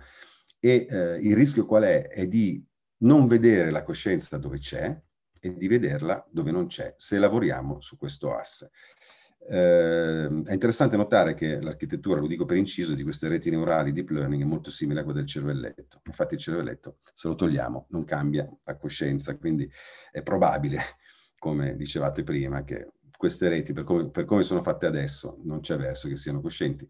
Però se utilizziamo questo protocollo rischiamo di sbagliarci. Io penso soprattutto anche alle generazioni successive. Quindi questo è un tema, secondo me, molto importante che ci impone di trovare, come dicevo prima, delle misure che siano basate sulla fisica del cervello. E qui la buona notizia, penso che stiamo convergendo, cioè i lavori che puntano alla complessità, non come segreto della coscienza o spiegazione definitiva della coscienza, ma come correlato molto affidabile, correlato fisico molto affidabile, sono tanti e sono fatti da tanti gruppi che ehm, appartengono anche a, sposano presupposti teorici molto diversi. Questo secondo me è un segno molto positivo nel campo della coscienza che è stato sottovalutato e che è sottovalutato perché si parla solo delle divergenze. Noi l'abbiamo messo in evidenza in una review che spero pubblica, sarà pubblicata presto, ci sono tantissimi studi soprattutto negli ultimi eh, dieci anni, un'impennata mostruosa utilizzando diverse tecniche e diversi protocolli, diverse situazioni in cui la coscienza c'è o non c'è, tutti dicono che la complessità funziona molto, ma molto bene. Vi ricordo che questa idea era nata tanto tempo fa e ci sono voluti vent'anni per poter dire, ah però non era una follia. Quindi, voglio lasciarvi con questo messaggio, anche le idee teoriche che oggi sembrano folli, poco intuitive, aspettate a giudicarli tra vent'anni e questo infatti dovrete farlo voi, visto che siete giovani. Grazie, ringrazio tutti e soprattutto uh, i colleghi, Università di Milano, Aliegi, Wisconsin, Ospedale Niguarda, Dognocchi e le nostre fonti ovviamente di finanziamento. Grazie mille professore, non la trattengo che so che deve andare, e, ehm, allora lascio la parola. No, beh, aspetti, allora io tre minuti per due domande, se, se voi avete tempo ce li ho, eh, se no, ma proprio tre minuti. Esatto, se ci sono domande um, sarebbe meglio se le facesse adesso, sì.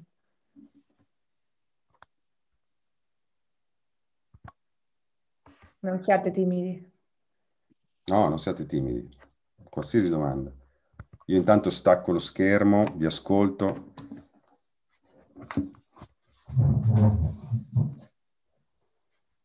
Niente, vi ho tramortito. Stanno ancora pensando a quanto detto, forse. Ah, in chat c'è una domanda, allora. Sì. Poi ci può comunicare i titoli del paper, chiedono. Uh, di quale paper? Di quale paper, Marta? Tutti. Tutti, va bene. Tutti. Ok. Ok, sì, poi insomma... Per magari... poi, sì, sì, certo, no, ma poi per email, eh, insomma, ci sentiamo anche per email, comunque senz'altro. Ok, per riguardarli meglio, perfetto.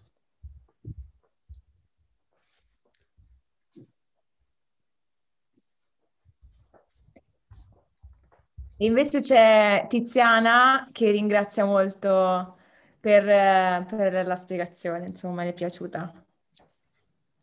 Beh, grazie a voi, veramente. Allora, sono mortificato di dover scappare eh, per questioni familiari, però mi è veramente... Avete fatto un'introduzione stupenda, mi spiace tantissimo. Beh, sentirò adesso ovviamente Matteo, non vi rubo altro tempo, io mi collego però insomma dal telefono. Va Grande. bene? Sì, va benissimo. Allora, Grazie. lascio- eh, grazie a lei. Lascio la parola a Matteo Sozzi che ci parlerà. Beh, ce lo dice lei cosa, di cosa parlerà, dai. Lascio parlare. Benissimo. Allora, intanto eh, inizio a condividere lo schermo. Voilà. Grazie, grazie a tutti, grazie per l'invito, grazie per queste belle chiacchierate, per le cose che ho imparato anche stasera sulla coscienza dalle, eh, dagli interventi che mi hanno preceduto. Ehm, indubbiamente credo che sia eh, ehm, chiaro che stiamo parlando di eh, un argomento estremamente complesso, ehm, estremamente complesso se non altro eh, rispetto alla definizione. E eh, non è una questione, mh, come dire, eh, da sottovalutare, non è una questione secondaria, perché come abbiamo avuto modo di, di sentire da, da, dalle introduzioni che sono state fatte dalla professoressa Dell'Antonio, dalla eh, collega eh, studentessa che poi ha fatto questa bella presentazione sulle teorie filosofiche, ma anche dall'intervento del professor Massimini. Stiamo, ci stiamo riferendo ad un costrutto teorico che è estremamente complesso e ehm, eh, eterogeneo a seconda degli approcci e dei punti di vista che vogliamo assumere eh, nello, studio, nello studio di questa istanza, nello studio di questo argomento. Perché è così importante, non è di secondaria importanza? Perché nel momento in cui viene fatta una domanda del tipo, ma questa persona è cosciente, intendendo non eh, semplicemente e già qua, eh, come dire, non è poi così semplice definire eh, semplice una persona che è vigile, no? Lo abbiamo appena visto, ma una persona eh, che ha avuto una lesione cerebrale grave, massiva, eh, mh, che ha determinato una perdita dei livelli di responsività, mh, eh, arrivare a dire ma è cosciente, significa avere in mente un costrutto teorico che è sufficientemente solido da poter dire adesso andiamo a misurare la coscienza. Insomma, abbiamo visto che la battaglia è piuttosto, è piuttosto complessa perché sono tanti gli aspetti da, da andare a considerare. Eh, gli ultimi spunti, le ultime suggestioni che ci ha lasciato il professor Massimini ci riportano a, a, ad un livello eh, di complessità dell'esperienza di coscienza. Mm? Eh, di fatto eh, l'argomento è dibattuto da, da tempo oramai eh, in ambito filosofico prevalentemente, eh, partito qu- quantomeno da lì, per cui intendiamo la coscienza come uno stato di consapevolezza di sé e dell'ambiente che ci circonda. Eh, per cui eh, da questo punto di vista, ciò che ancora oggi riusciamo a, a intendere eh, in questo senso è che la consapevolezza è un prodotto di un'esperienza soggettiva e sensoriale. Quanto come eh, essere vivente, vigile eh, e, eh, come dire, interattivo nell'ambiente eh, che, che, che, mi circonda sono in grado di fare una sintesi delle esperienze sensoriali che arrivano dall'esterno, che percepisco dall'interno, che appartengono agli stati mentali, che appartengono ai qualia, così come ci sono stati descritti. Eh, qualche tempo dopo anche Janet e Plum eh, entrano nel merito della definizione di stato di coscienza e cominciano a dividere il concetto di attivazione da un concetto di consapevolezza. Abbiamo visto cosa significa essere coscienti, cosa significa essere consapevoli. Sono consapevole eh, del, del, mio essere eh, sveglio in questo momento, sono consapevole di, di, tutti gli stati mentali che mi abitano. Insomma, eh, da questo punto di vista la, la clinica, la neuropsicologia clinica eh, ci apre le porte anche a, eh, come dire, uh, un'attenzione particolare al concetto di coscienza in termini di consapevolezza. Eh, un paziente che eh, è in grado di riferire, eh, ad esempio, ehm, verbalmente il fatto di avere un'emiplegia, per cui il metacorpo non funziona, Mm? Immaginiamo la metà sinistra, non riesce a muovere il braccio sinistro dopo un ictus, eppure dice, beh, quasi quasi prendo la moto e vado a farmi un giro. Che tipo di coscienza c'è? Quale tipo di consapevolezza è presente in questa persona? Quindi eh, vediamo già come il termine coscienza e consapevolezza sia eh, distaccato da un, da, da un, concetto di attivazione, di arousal. Eh, negli anni 90, se vogliamo restare sulle definizioni un po' cliniche, è parte nell'ambito di una consensus conference, una task force, diciamo, sugli stati vegetativi. Eh, in particolare, diciamo, come dire, questi gli autori che si sono messi a studiare intorno a questo tema arrivano a definire eh, una condizione di coscienza intesa come una consapevolezza che richiede veglia, ma la veglia può essere presente anche in assenza di consapevolezza. Mm? Comincia a introdursi pian piano negli anni 90 il concetto di stato vegetativo. Eh, quindi che cosa capita? Vado un po' rapido perché vorrei arrivare alle, alle definizioni. Cosa capita? Dal punto di vista neurobiologico abbiamo visto eh, è necessario il fatto che vi sia una sorta di attivazione ehm, collocata, diciamo grosso modo a livello dei, dei nuclei aminergici, quindi della sostanza reticolare ascendente, per cui c'è, come dire, un'attivazione parte un'attivazione neurotrasmettitoriale che è quella che permette di raggiungere uno stato di eh, veglia, di arousal, e successivamente di accedere al contenuto dello stato di coscienza. Quindi gli aspetti cognitivi, ehm, gli aspetti sensoriali, gli aspetti percettivi, le capacità di integrazione che costituiscono il nostro stato di consapevolezza. Eh, la vigilanza può essere presente, la consapevolezza, pardon, può essere presente in presenza di vigilanza. Quando non c'è una eh, presenza di consapevolezza, quando la pres- presenza di consapevolezza, di coscienza non è piena, in ambito clinico iniziamo a entrare nell'ordine di eh, inquadramenti diagnostici, diciamo così. Per cui parliamo sostanzialmente di tre tipi di alterazioni dello stato di coscienza a seguito di una lesione cerebrale. Il coma, lo stato vegetativo e lo stato di minima coscienza. Come ha accennato il professor Massimini poco fa, si tratta, e lo vedremo in maniera approfondita adesso magari in questo, in questo spazio, in questa chiacchierata, si tratta di eh, ambiti eh, non sempre facilmente definibili, soprattutto con un'osservazione clinica, perché attraverso l'osservazione clinica andiamo a fare un'analisi che è prettamente inferenziale, cioè eh, andiamo a inferire la presenza di uno stato di coscienza sulla base delle risposte che otteniamo dal paziente.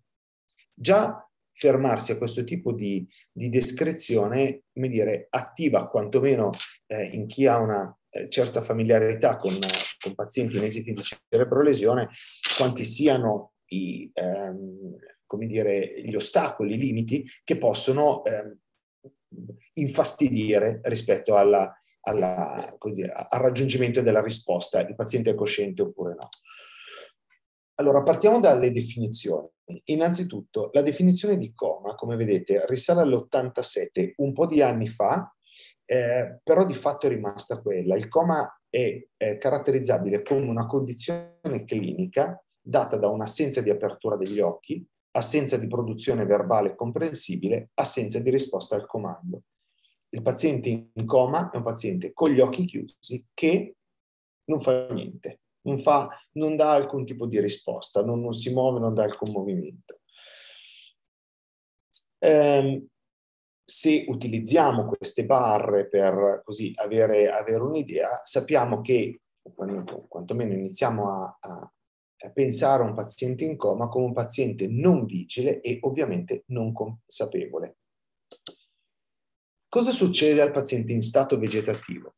Il paziente in stato vegetativo eh, presenta, diciamo, già poche settimane dopo un evento, un evento traumatico, una grave cerebrolesione, la riacquisizione dei ritmi sonno-veglia, che sono di fatto alterati, ma in un certo qual modo nel paziente in stato vegetativo noi riusciamo a trovare la presenza di una vigilanza. Il paziente apre gli occhi, li apre quando è vigile, li chiude quando sta dormendo, ma analogamente a quanto eh, rileviamo nel paziente in coma, il, il, il, paziente in stato vegetativo non è consapevole, non ha consapevolezza. Per cui, secondo la definizione di Giassino e collaboratori del 2002, lo stato vegetativo è definibile come la condizione clinica in cui osserviamo un recupero della vigilanza, quindi c'è apertura degli occhi, ma c'è una totale assenza delle capacità di interazione con l'ambiente circostante. Attenzione perché totale assenza di capacità di interazione è tutta da dimostrare, come abbiamo appena visto. In realtà potrebbe essere che ci siano degli ostacoli che impediscono questo stato di, questo, questa eh, capacità di interazione. Eh, di base quindi è caratterizzata dalla eh, impossibilità di rilevare delle evidenze anche indirette, implicite, inferenziali della presenza di uno stato di coscienza o di consapevolezza. Non vi sono eh, risposte evidenti, sostenute, riproducibili, che siano finalizzate, soprattutto volontarie. Non vi è evidenza di, di comprensione di linguaggio, di produzione verbale, è presente una veglia intermittente, è presente eh, un'attivazione del sistema nervoso ipotalamico vegetativo, da qua il concetto, la definizione di stato vegetativo. Eh, ovviamente non è in grado di contenere urine e fece il paziente ehm, e sono presenti in maniera variabile alcune risposte eh, diciamo da riflessi spinali, per cui il pupillare, l'oculo cefalico, il riflesso corneale, per cui la capacità di eh, come dire, chiudere gli occhi, anzi non è nemmeno una capacità, ma è una risposta riflessa di chiudere gli occhi quando viene sfregata leggermente la cornea con un filo di cotone. E ovviamente c'è un'assenza di, eh, eh, c'è un'assenza di, di, di funzioni cognitive evidenti. Eh, lo definiamo persistente quando dura almeno quattro settimane, permanente diventa una diagnosi medica, quindi è una diagnosi posta nel momento in cui eh, la probabilità di un recupero dello stato di coscienza è così basso da dire il paziente non, non migliorerà e resterà così in assenza di, di, risposte. In realtà, dal punto di vista clinico, eh, benché i pazienti vengano definiti sulla cartella clinica stato vegetativo, stato di minima coscienza, iniziamo a preferire l'uso di un'altra, un'altra definizione, ossia la definizione di Responsive Wakefulness Syndrome, eh, ossia sindrome di veglia senza risposta. Perché? Eh, perché innanzitutto eh, serve per evitare delle confusioni eh, che potete eh, molto bene immaginare di, di, di rappresentazione mentale eh, dello stato del paziente, no? eh, per cui spesso capita che, che i parenti stessi dicano eh, ma adesso è come una pianta, eh, o peggio ancora lo, lo, dicono altre persone di un paziente, no? adesso è come una pianta. No, in realtà non ha non ha nulla a che fare con i vegetali, ma come abbiamo visto è semplicemente legato al concetto di funzionamento del sistema nervoso autonomo, quindi del sistema nervoso vegetativo, ma anche perché questo tipo di definizione inquadra dal punto di vista funzionale il fatto che il nostro paziente è vigile, è sveglio, ma non fornisce nessuna risposta, oppure hm? ha delle difficoltà nel, nel, nel fornire delle risposte associato allo stato vegetativo c'è eh, una condizione che è di, eh, come dire, maggiore complessità eh, nella, nell'essere individuata, nell'essere studiata, che è il cosiddetto eh, stato di minima coscienza. Uno stato di minima coscienza, analogamente a quanto succede col paziente in stato vegetativo, abbiamo la presenza di una vigilanza, ma la consapevolezza è variabile può essere bassa, può essere in alcuni momenti molto alta, può essere tendenzialmente molto molto bassa, parleremo allora poi di un minimally conscious state minus, per cui fa veramente molto poco questo paziente. Può essere stabilmente alta, ma di fatto oltre ad una serie di comandi il paziente non, non dà altri tipi di risposta. Ma di fatto quello che osserviamo con lo stato di minima coscienza è una fluttuazione di alcuni livelli di consapevolezza. Ecco che seguendo le eh, definizioni e i criteri diagnostici pubblicati sulla, sull'American Academy of Neurology, lo stato di minima coscienza è definibile come una severa alterazione della coscienza in cui siano documentabili anche in modo incostante comportamenti che esprimono consapevolezza di sé e dell'ambiente circostante. Ora, vediamo già quanto eh, critica e, e complesso sia eh, individuare dei comportamenti che esprimono una consapevolezza di sé e dell'ambiente circostante. Stiamo parlando di pazienti che vivono una condizione clinica di, eh, come dire, eh, di, di, una certa gravità, di una certa severità, per cui diventa anche difficile eh, per una serie di, di ragioni eh, manifestare dei comportamenti. E quindi ehm, come li rileviamo? Generalmente in base a risposte a ordini semplici, a verbalizzazioni comprensibili, alla presenza di, di, un riso che è eh, appropriato o un pianto che è appropriato, vocalizzazioni o gesti significativi in diretta risposta degli stimoli verbali e movimenti oculari di inseguimento e di fissazione sostenuta. Questo è un passaggio molto molto importante, soprattutto quest'ultimo punto, perché eh, laddove individuiamo dei movimenti oculari che siano eh, congruenti, quindi con una certa sicurezza riesco a rilevare il fatto che il paziente sta fissando e segue dei movimenti in maniera volontaria, allora inizio a entrare in un concetto clinico di zona di confine tra stato vegetativo e stato di minima coscienza, cioè i movimenti oculari sono i primissimi, i movimenti oculari volontari sono i primissimi segni che, eh, dai quali inferiamo o decidiamo di inferire il fatto che vi sia eh, la presenza di una, eh, di una vagito di coscienza, la presenza di, una, di, un, di, un, primo segno di consapevolezza di sé e di un ambiente che circonda. Perché? Perché il paziente comincia a dire io vedo qualcos'altro che non sono io, è la faccia del mio esaminatore, è la mia faccia riflessa nello specchio e segue dei movimenti in maniera costante. Accidenti, sappiamo però che una lesione cerebrale, come abbiamo visto poco fa da alcune, da alcune rappresentazioni, può condizionare eh, la, gli stessi movimenti oculari. Abbiamo visto l'esempio, eh, come dire, paradigmatico della eh, maggior limite in assoluto nel fornire delle risposte di output, che è la condizione clinica della Lockheed syndrome, in cui, data una lesione, tutto è chiuso, tutti i movimenti di output sono chiusi, fuorché i, i, i movimenti oculari. Eh, quando in realtà non vi sia una lesione, eh, una lesione che coinvolga anche i nuclei ed i corsi dei nervi cranici degli oculomotori, dei nervi, de, de, dei nervi oculomotori.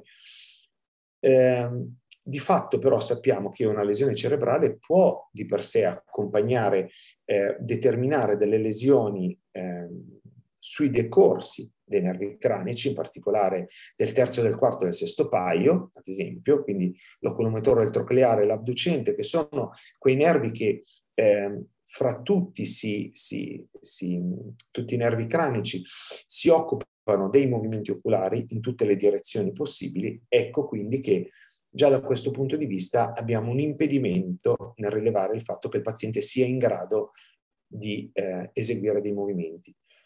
E come si fa? E, eh, si fa studiando il paziente, si fa osservando, si fa facendosi un sacco di domande. Dal punto di vista dell'osservazione neurocomportamentale, dell'osservazione neuropsicologica, diremmo, eh, si tratta di un campo, mh, diciamo così, libero, in cui non sono presenti test, vedremo sono presenti delle scale, alcune scale sono molto ben strutturate, come la Coma Recovery Scale, ma di fatto la modalità di interazione col paziente deve essere una modalità tipica eh, del, del, metodologo tipica dello scienziato, quindi vuol dire quando vado a osservare qualcosa, sono sicuro di aver visto esattamente quello che sto cercando oppure sono subentrate altre variabili e quali altre variabili possono, possono intervenire?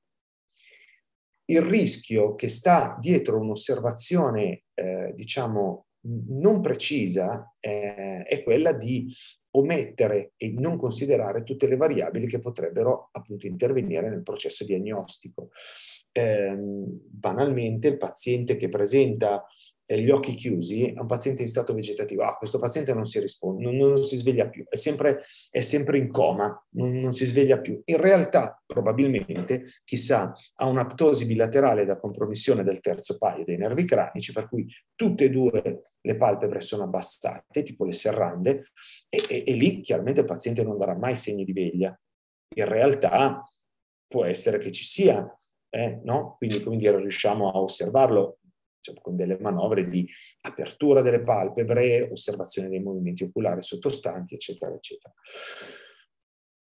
Qual è l'altra border zone? È quella che sta oltre lo stato di minima coscienza, cioè l'emergenza dallo stato di minima, che è caratterizzata da una comunicazione interattiva, dall'uso funzionale di oggetti, da comportamenti che siano finalizzati anche nel contesto di una gravissima compromissione attentiva che impedisce un'adeguata elaborazione delle informazioni. Cioè, prima la professoressa dell'Antonio faceva presente che è necessario avere un buon livello di attenzione, un'attenzione sufficiente che permetta di integrare tutte le informazioni di input, che sia un input ambientale, che sia un input da eh, percezione interna, da, da, stati mentali interni, eh, e interagire in qualche modo con, eh, con l'ambiente circostante. Ecco, ehm, questi pazienti, pot- pazienti in stato di emergenza allo stato di minima potrebbero mostrare la capacità di usare funzionalmente degli oggetti, ma eh, non sono ancora sufficientemente attenti, passatemi questo termine, da poter essere valutati formalmente con una valutazione neuropsicologica, ad esempio con dei test psicometrici, perché la tenuta attentiva è estremamente labile, perché eh, dire, i comportamenti non sono eh, complessi più di quello che di fatto già fanno, non c'è una, una, dire, un'intenzionalità, un'esecuzione di un comportamento continuo, costante ehm, di alta complessità. Sono diversi lavori che hanno, eh, come dire, puntato l'attenzione su sui segni predittivi del recupero di coscienza, su questo non, eh, non entro nel merito, ma eh, lo studio della presenza di un eh, potenziale evocato motorio relativo a una risposta di evitamento e alla rilevazione della P300 ha aiutato, eh, P300 è il potenziale evocato visivo, ehm, aiuta questi autori a dire, ecco, di tutto un gruppo di pazienti eh, valutati in stato vegetativo, ce ne sono alcuni che di fatto presentano delle risposte compatibili con uno stato di minima coscienza. Quindi, di nuovo, siamo di fronte a una di quelle condizioni in cui la complessità del tipo di, eh, di di, stimolo che viene dato e del tipo di eh, dire, risposta che noi, che noi, otteniamo potrebbe dire, facilitare la rilevazione e l'osservazione di un, eh, di un profilo clinico oppure eh, impedire di vederla, insomma, quando ci sono poi delle, delle, de, dei limiti di risposta. Ok. Come vi dicevo, Loris eh, eh, inizia a parlare già nel 2010 di una, una sindrome di vigilanza da, in assenza di risposta e sempre restando nell'ambito delle definizioni, Bruno e i collaboratori cominciano, come vi dicevo, ad accennare al concetto di eh, minimally conscious state plus, per cui il paziente eh, dà delle risposte a comandi verbali, comunicazioni, usa oggetti, ma non fa altro, quindi dire, lo stato di coscienza è ancora basso, ancora incapace di ehm, poter comprendere tutto quello che viene detto, poter prendere decisioni, poter banalmente essere sottoposto a delle prove psicometriche. verso un minimally conscious state minus in cui eh, le risposte che rileviamo sono estremamente elementari, l'inseguimento visivo e la localizzazione dello stimolo nocicettivo. Questa è una rappresentazione del, dell'evoluzione attesa e spesso, devo dire, fortunatamente osservata in, in altre circostanze no, eh, l'evoluzione del paziente con una grave cerebrolesione acquisita, per cui abbiamo visto, se riesco a, eh, non riesco a far partire il puntatore, pardon, eh, dato una, data una condizione di coma, abbiamo un arousal che, che è, è, è, determinato dall'apertura degli occhi, quindi passiamo da uno stato vegetativo a una responsive wakefulness syndrome, eh, la risposta a comandi o la presenza di movimenti che non siano dei movimenti eh, di riflessi dà accesso a una condizione di stato di minima coscienza, la presenza di comunicazione è un elemento chiave, quindi quando la comunicazione è intenzionale, continua e costante, quindi è indicativa del fatto che c'è un'interazione ehm, con con l'ambiente esterno, con l'ambiente relazionale esterno, allora dà accesso a, quei, a, a quelli che sono concetti di severa disabilità, disabilità moderata e poi pian piano, insomma, un, un recupero sempre, sempre maggiore.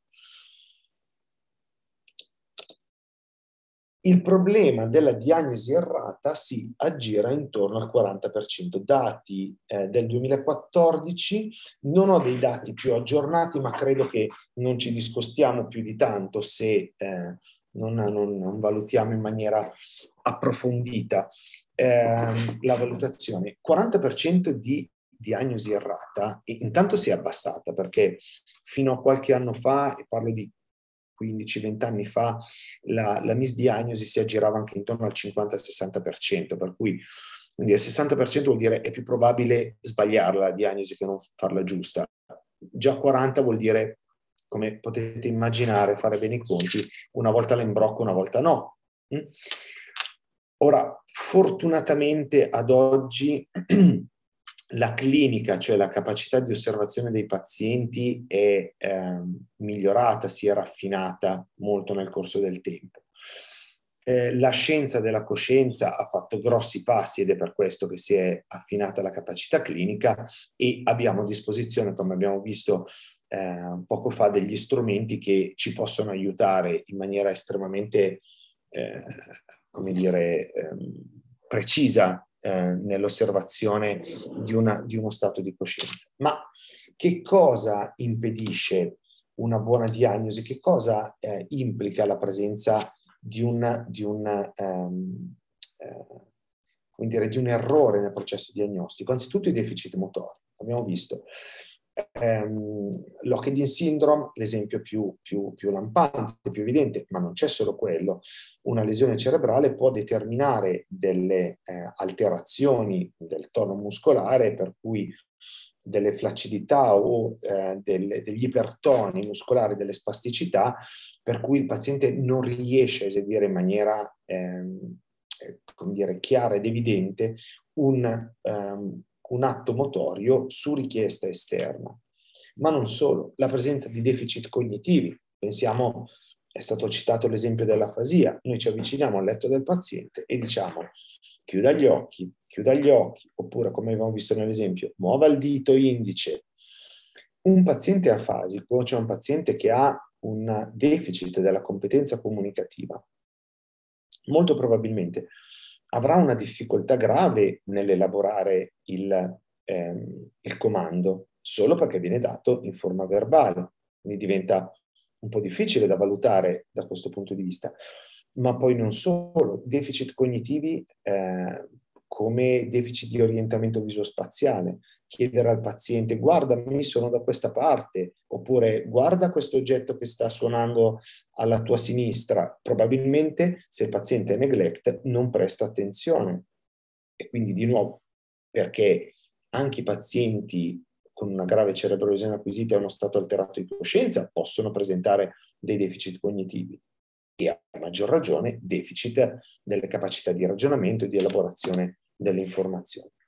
Deficit sensoriali, vista, udito, eh, abbiamo visto difficoltà intanto dei movimenti oculari, ma eh, ci sono una serie, una pletora di eh, condizioni cliniche che possono ridurre le capacità visive del nostro paziente. Ad esempio, eh, una maurosi da stiramento del nervo ottico perché c'è stato un trauma cranico e quindi i nervi ottici non funzionano più. Se avete presente l'anatomia del sistema visivo, il nervo ottico sono subito i cavi che partono da, dalla retina, stirato, rovinato, non funziona più e, e, quindi il paziente non vede, ma può esserci un, un, un problema ancora più a monte, una cecità corticale, una lesione cerebrale delle aree posteriori che impedisce al paziente di vedere eh, deficit ehm, legati all'udito, ad esempio per alterazione sempre dei nervi cranici del, del, eh, del, del nervo acustico.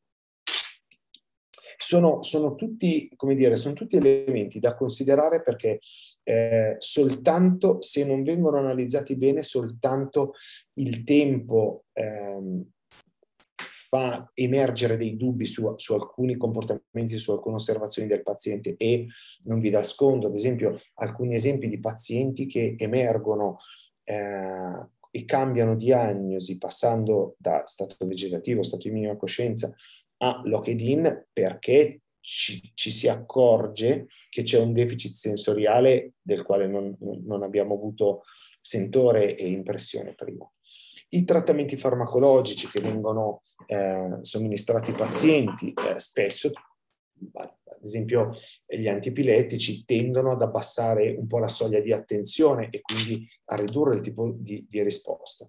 Le fluttuazioni dei livelli di vigilanza. I nostri pazienti, come tutti noi, hanno dei livelli di attenzione che fluttuano nel tempo, nel corso della giornata, nel corso delle stimolazioni, ma per i nostri pazienti sono molto più accentuati e sono molto più affaticabili. Vedere un paziente prima e dopo la fisioterapia non è la stessa cosa, eppure stiamo parlando di un'attività di, di riabilitazione motoria che è blanda, dura probabilmente 20 minuti, al massimo mezz'ora, il tempo di arrivare, di, di stare col paziente, di prepararlo e la maggior parte delle volte sono attività di, di mobilizzazione passiva degli arti. Eppure vederlo dopo può in qualche modo fornire la, dire, un, un, dato falsato da una stanchezza, diciamo così, eh, esperita dal paziente dopo il trattamento riabilitativo. Quali sono le scale di valutazione? Allora, ci rifacciamo un lavoro che abbiamo fatto alcuni anni fa per la eh, Consensus Conference in in riabilitazione neuropsicologica. Allora, intanto, cosa sono delle scale? Facciamo magari soltanto un, un, un piccolo punto e in cosa si differenziano dai test. I test sono degli strumenti che misurano. Hm? Eh, quindi ci sono degli stimoli che vengono dati, delle risposte che vengono raccolte. Le risposte che vengono raccolte si rifanno ad un campione eh, normativo per cui hm, dire, valuto quanto si discosta la risposta del mio paziente o del soggetto dal campione normativo e questo stabilisce una sorta di gravità delle condizioni. Le scale sono semplicemente degli strumenti con i quali facciamo delle osservazioni cliniche. Ora, eh, nel lavoro che abbiamo condotto eh, abbiamo raccolto tutte le scale che vengono utilizzate in clinica o sono descritte in letteratura mh, per la valutazione della, eh, delle alterazioni dello stato di coscienza dopo una grave cerebrolesione acquisita. E siamo riusciti a raggrupparli fondamentalmente in quattro gruppi. Un primo gruppo eh, definito, che, che, abbiamo definito eh, di scale cosiddette descrittive. Un secondo gruppo in cui vi sono delle scale che sono caratterizzate dal fatto di ehm, presentare degli stimoli, hm? quindi di codificare in maniera chiara degli stimoli. Terzo gruppo, eh, costituito dalle scale che tengono conto delle raccomandazioni dei criteri diagnostici stabiliti dall'Aspen Work Group, cioè quella, quella consensus eh, di, del, del 2002 in cui si comincia a dire parliamo di coma, stato vegetativo e minima coscienza, parliamo di queste caratteristiche cliniche del paziente. E un quarto gruppo di scale che sono eh, gli strumenti somministrabili al paziente che sono già responsivi ma ancora non valutabili eh, alla valutazione neuropsicologica. Nelle scale descrittive non entrerò troppo nel merito di queste, ehm, di queste scale perché diventa un discorso veramente molto complesso, sono tante. Ma fondamentalmente fate conto che sono delle scale che ehm, sono caratterizzate da criteri tassonomici da applicare all'osservazione clinica del paziente, ossia vado al letto del paziente, faccio un'osservazione, eventualmente metto in atto delle stimolazioni che non sono delle stimolazioni codificate, definite, cioè dicono fai questa cosa, ma è un pizzica, tira, guarda, fai, chiedi di guardarti, eccetera, e poi ehm, vado a osservare in quale criterio, in quale tassonomia ricade il mio paziente. Sono scale, come potete immaginare, piuttosto ehm, grossolane da un certo punto di vista, che certamente inquadrano eh, le caratteristiche cliniche del paziente, ma non permettono di osservare i livelli di evoluzione di un'acquisizione dello stato di coscienza. Eh, le scale del secondo gruppo vi dicevo che sono le scale che considerano invece la somministrazione di stimoli e l'analisi delle risposte. Mm, si comincia dunque a effettuare un tentativo, eh, un tentativo del tipo eh, stabiliamo, ehm, stabiliamo, che vi siano eh, questi stimoli da somministrare e queste risposte che devi aspettarti di osservare. Iniziamo allora a entrare nel merito di, una, di uno strumento che aiuta a studiare la presenza di uno stato di coscienza. Discutibile quanto vogliamo, discutibile quanto vogliamo, ma di fatto iniziamo a, a dire, bene, se io voglio studiare la coscienza, io eh, considero cosciente il mio paziente che, ad esempio, alla Comani Arcoma Scale eh, risponde almeno tre volte al suono di un campanello. E come può rispondere? Orientando lo sguardo. Lo fa? Bene, non lo fa? Il paziente non è cosciente. Eh, è grossolano, ma più delle scale tassonomiche si comincia ad osservare, ad avere degli strumenti di misurazione. Quali sono gli aspetti critici di queste scale? Che sono eh, ancora eh, lontane dalla, ehm, eh, da, dai, dai, criteri diagnostici eh, stabiliti dall'Aspen Work Group, quindi utilizzano ancora delle, delle diciture ehm, obsolete. Pensate ad esempio alla coma niarcoma. Il concetto di niarcoma fondamentalmente è minima coscienza, per intendersi. Mm? E eh, un dettaglio importante, il fatto che appartengano, che, che, non utilizzino gli stessi criteri, non significa che non vengano più utilizzati. La coma Coma, ad esempio, veniva richiesta, fino a pochi anni fa, veniva richiesta dal sistema sanitario ehm, per la valutazione e veniva anche utilizzata in clinica. Io l'ho utilizzata molte volte perché eh, dire, la, la, la, la, scelta degli stimoli, la modalità con cui sono strutturati gli stimoli aiuta molto. Certo, si arriva alla fine della scala e la, la, definizione non corrisponde più, quindi si fa una forzatura e si dice io assumo che questo tipo di risposte corrisponda in base ai criteri diagnostici ad uno stato di minima coscienza. Mm? Nel terzo gruppo eh, rientrano solo le scale che tengono conto delle raccomandazioni dell'Aspen Group, una sola, la Coma Recovery Scale, eh, una scala che eh, attualmente si configura come l'unico strumento che includa i criteri diagnostici, eh, è presente una versione revised del 2007 ed è eh, costituita da 29 item gerarchicamente eh, organizzati fondamentalmente con la Coma Recovery Scale andiamo a eh, rilevare la presenza di risposte a stimolazioni uditive, visive, motori, oromotore verbali, comunicazione e di vigilanza. Può essere calcolato un punteggio totale, ma in realtà nessuno eh, in clinica utilizza il punteggio totale della scala. E adesso tra un, tra un attimo vedremo perché perde il senso il, eh, il punteggio globale, il punteggio totale. Eh, intanto come viene, come viene eh, somministrata? Bisogna preparare il paziente, bisogna che il paziente sia attivato eh, a fornire le migliori risposte possibili. Quindi se il paziente ha fatto una seduta di fisioterapia, è bollito, non ce la fa più, è troppo stanco, non somministro gli stimoli. Chiaramente ehm, ciò che noi andiamo a, eh, ehm, andiamo a, osservare è la presenza di risposte laddove ehm, ci siano delle risposte che siano, ehm, come dire, esattamente ehm, definite all'interno delle istruzioni. Quindi in questo caso noi abbiamo, perché questa scala rappresenta il gold standard? Perché fra tutte è quella che dice benissimo, se tu vuoi valutare la presenza di una coscienza, della coscienza nel tuo paziente, devi somministrare gli stimoli in questo modo e aspettarti ancora più precisamente a questi tipi di risposta nei tempi che ti dico io. Quindi significa che se io vado dal mio paziente e dico chiudi gli occhi, mi devo aspettare una risposta eseguita, che so, entro 30 secondi, cosa succede se il paziente chiude gli occhi al 35 secondo?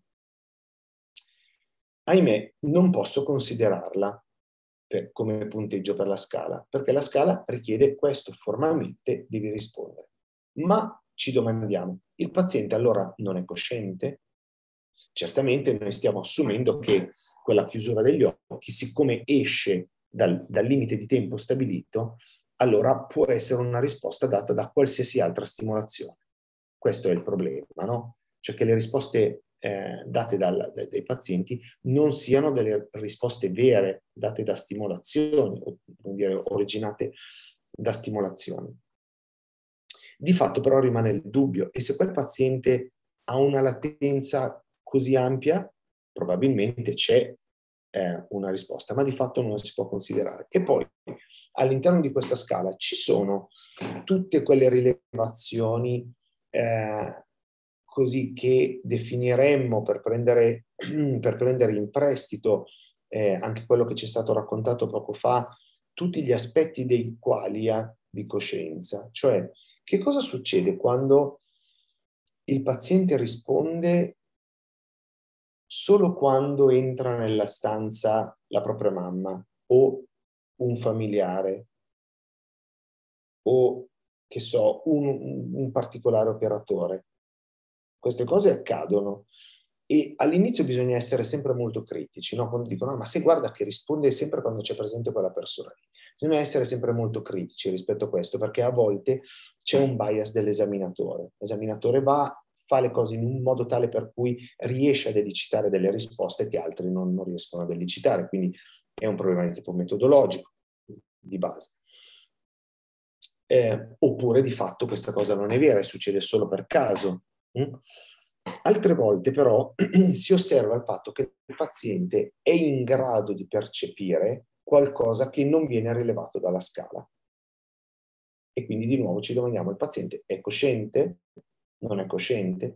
È chiaro che se noi ci rifacciamo i punteggi delle scale non possiamo mentire, no? Il punteggio se non ottiene nessuna risposta significativa alla coma recovery scale, non possiamo dire il paziente cosciente, ma certamente va descritto dal punto di vista qualitativo quello che il paziente fa, perché tutto concorre a entrare in un'osservazione che è il più complessa possibile. Cos'ha di buono questa scala? Il fatto che ehm, bypassa in qualche modo, ma non del tutto, ehm, i limiti eh, che vi ho descritto poco fa. Eh, mi spiego meglio. Cosa succede se eh, un paziente presenta un eh, deficit visivo, per cui a seguito della lesione cerebrale perde completamente la vista? Non ha la possibilità di eseguire nessuno degli ordini, nessuno dei compiti, delle attività, eh, delle attività proposte che richiedano un'elaborazione visiva. Mm?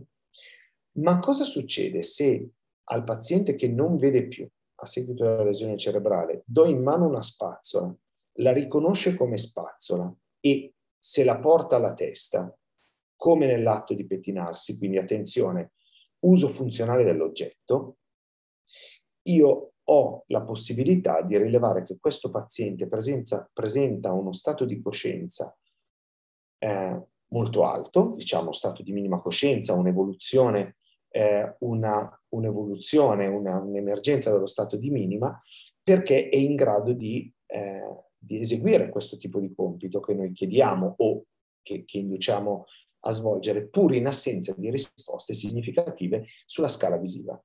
Mm? Quindi la bontà di questa, di questa scala osservativa è quella di eh, considerare almeno clinicamente la complessità del tipo di risposte che noi possiamo ottenere da, dai nostri pazienti. Questo è il lavoro sul quale, come dire, che, che, che raccomanda fortemente eh, la CRS nella valutazione degli stati di minima coscienza e eh, passando così, facendo un salto rapido, invece ai pazienti che già eh, escono da questa condizione di, di, stato alterato di coscienza, abbiamo uno strumento molto interessante che è la Preliminary Neuropsychological Battery, sia una, una scala eh, ideata da Cossa e collaboratori ehm, che fondamentalmente eh, permette di misurare la, i livelli di cognitività eh, di un paziente, quindi siamo già oltre, quindi a questo punto siamo un paziente consapevole, cosciente, ma non ancora valutabile dal punto di vista cognitivo. Ci permette di valutare ehm, cognitivamente con dei compiti molto molto semplici, in cui chiediamo di fare, eh, come dire, del, de, dei match visivi tra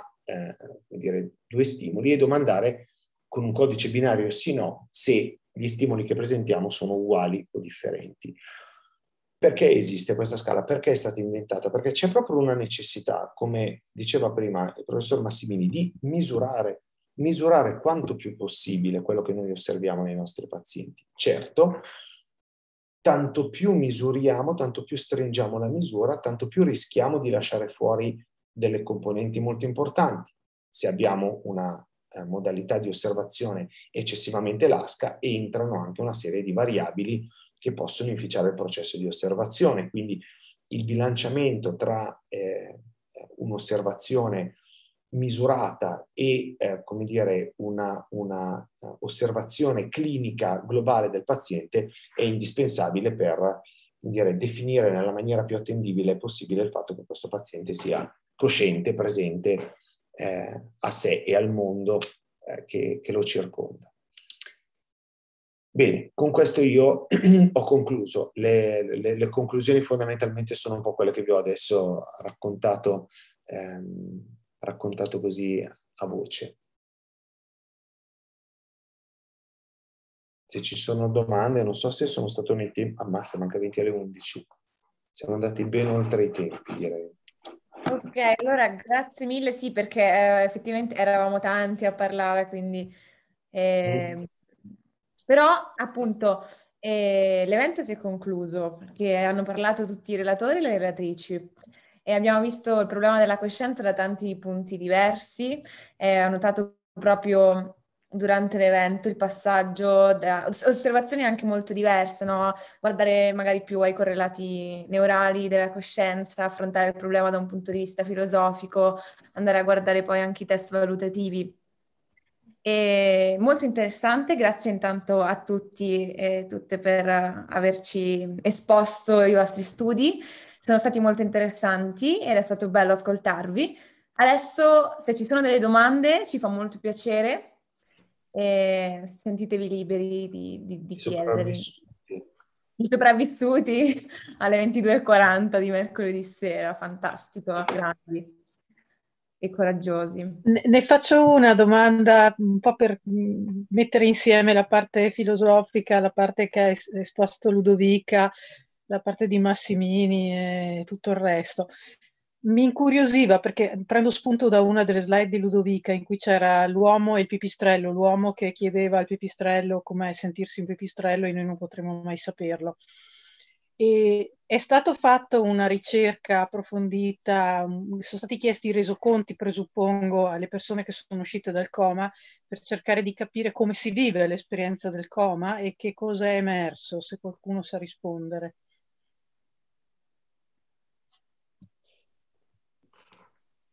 Posso rispondere io?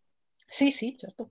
Allora, ehm, dunque, io, eh, allora, io non ho un'esperienza diretta eh, di questo, non ovviamente dell'essere stato in coma, eh, ma eh, anche se adesso mi sento un po' in pre-coma, sono molto stanco.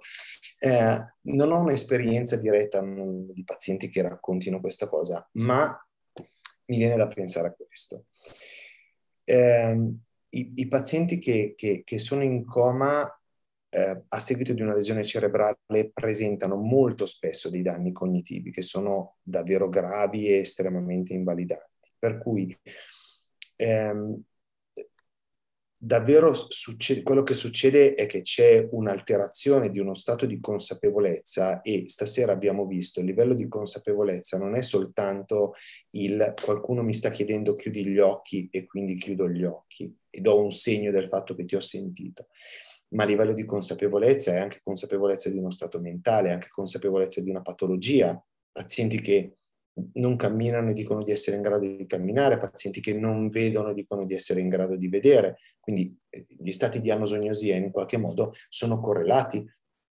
a un'alterazione dello stato di coscienza. Quindi faccio un po' fatica a pensare che un paziente post-coma possa raccontare in maniera vivida che cosa ha vissuto durante il coma, però eh, questo è, è solo basato sulla mia esperienza.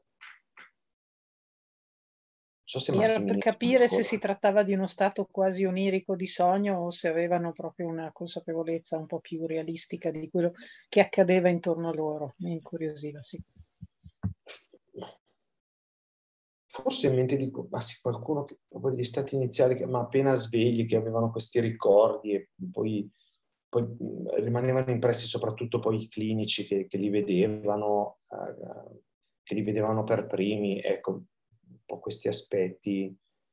Sì, qualcosa, qualcosa, qualcuno racconta, ma questi stati oniroidi già in fase di, di veglia, ma non, non, quando sono in stato, in stato vegetale. Cioè, non, ho, non ho esperienza di pazienti che raccontino in maniera vivida, ecco. Questo no. Grazie. Prego.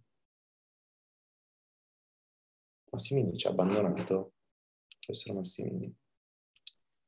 Sì, mi pare che non ci sia al momento. Però magari ci sono altre domande. Ci sono? Se, se mi, mi, sentite, buonasera. Siamo, ciao. Buonasera, grazie intanto per eh, l'evento, davvero molto interessante e a tutte le relatrici e relatori.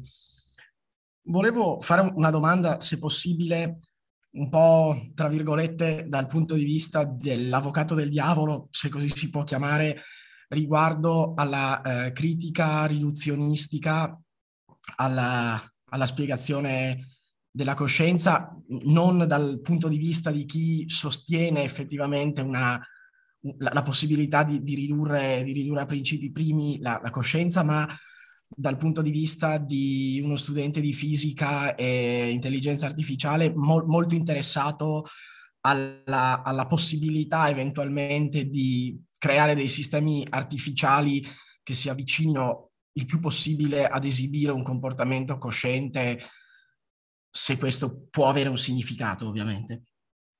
E cioè mi, mi domandavo, anche appunto riprendendo quello che è stato esposto dal, dal professor Massimini, eh, se effettivamente la, la, filosofia avesse, nel senso, no, non sono esperto del, della produzione filosofica a riguardo, ho letto qualcosa di, di Chalmers, ma, ma, non approfonditamente, ma mi domandavo effettivamente se il problema di mh, crisi del riduzionismo non sia effettivamente soltanto, tra virgolette, un problema di scala.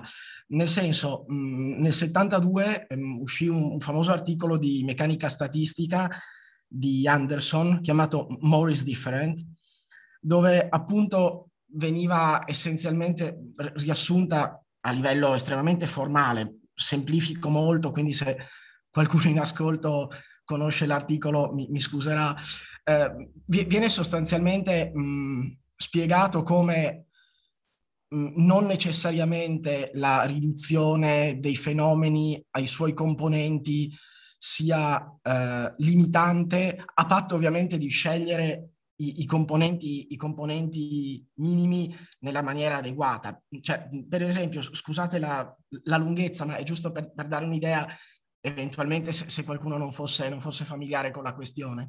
Ma se per esempio noi andiamo a considerare eh, il famoso esempio del mattone eh, di gomma piuma o del mattone eh, costituito di laterizio, effettivamente mh, è evidente che la proprietà del laterizio è rilevante eh, per quanto concerne l'eventuale rottura della finestra.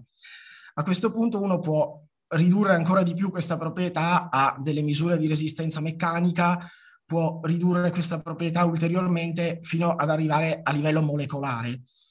Ed effettivamente vi è una, una condizione di, di, descrizione molecolare che ha a che fare con i potenziali eh, intermolecolari, oltre la quale effettivamente se si va a decomporre ulteriormente eh, la molecola si ottengono delle parti che non presentano più questa, questa proprietà. Tuttavia questo non è in contraddizione con il fatto che effettivamente queste molecole siano a loro volta costituite da atomi eh, che a loro volta possono essere costituiti da, da particelle subatomiche.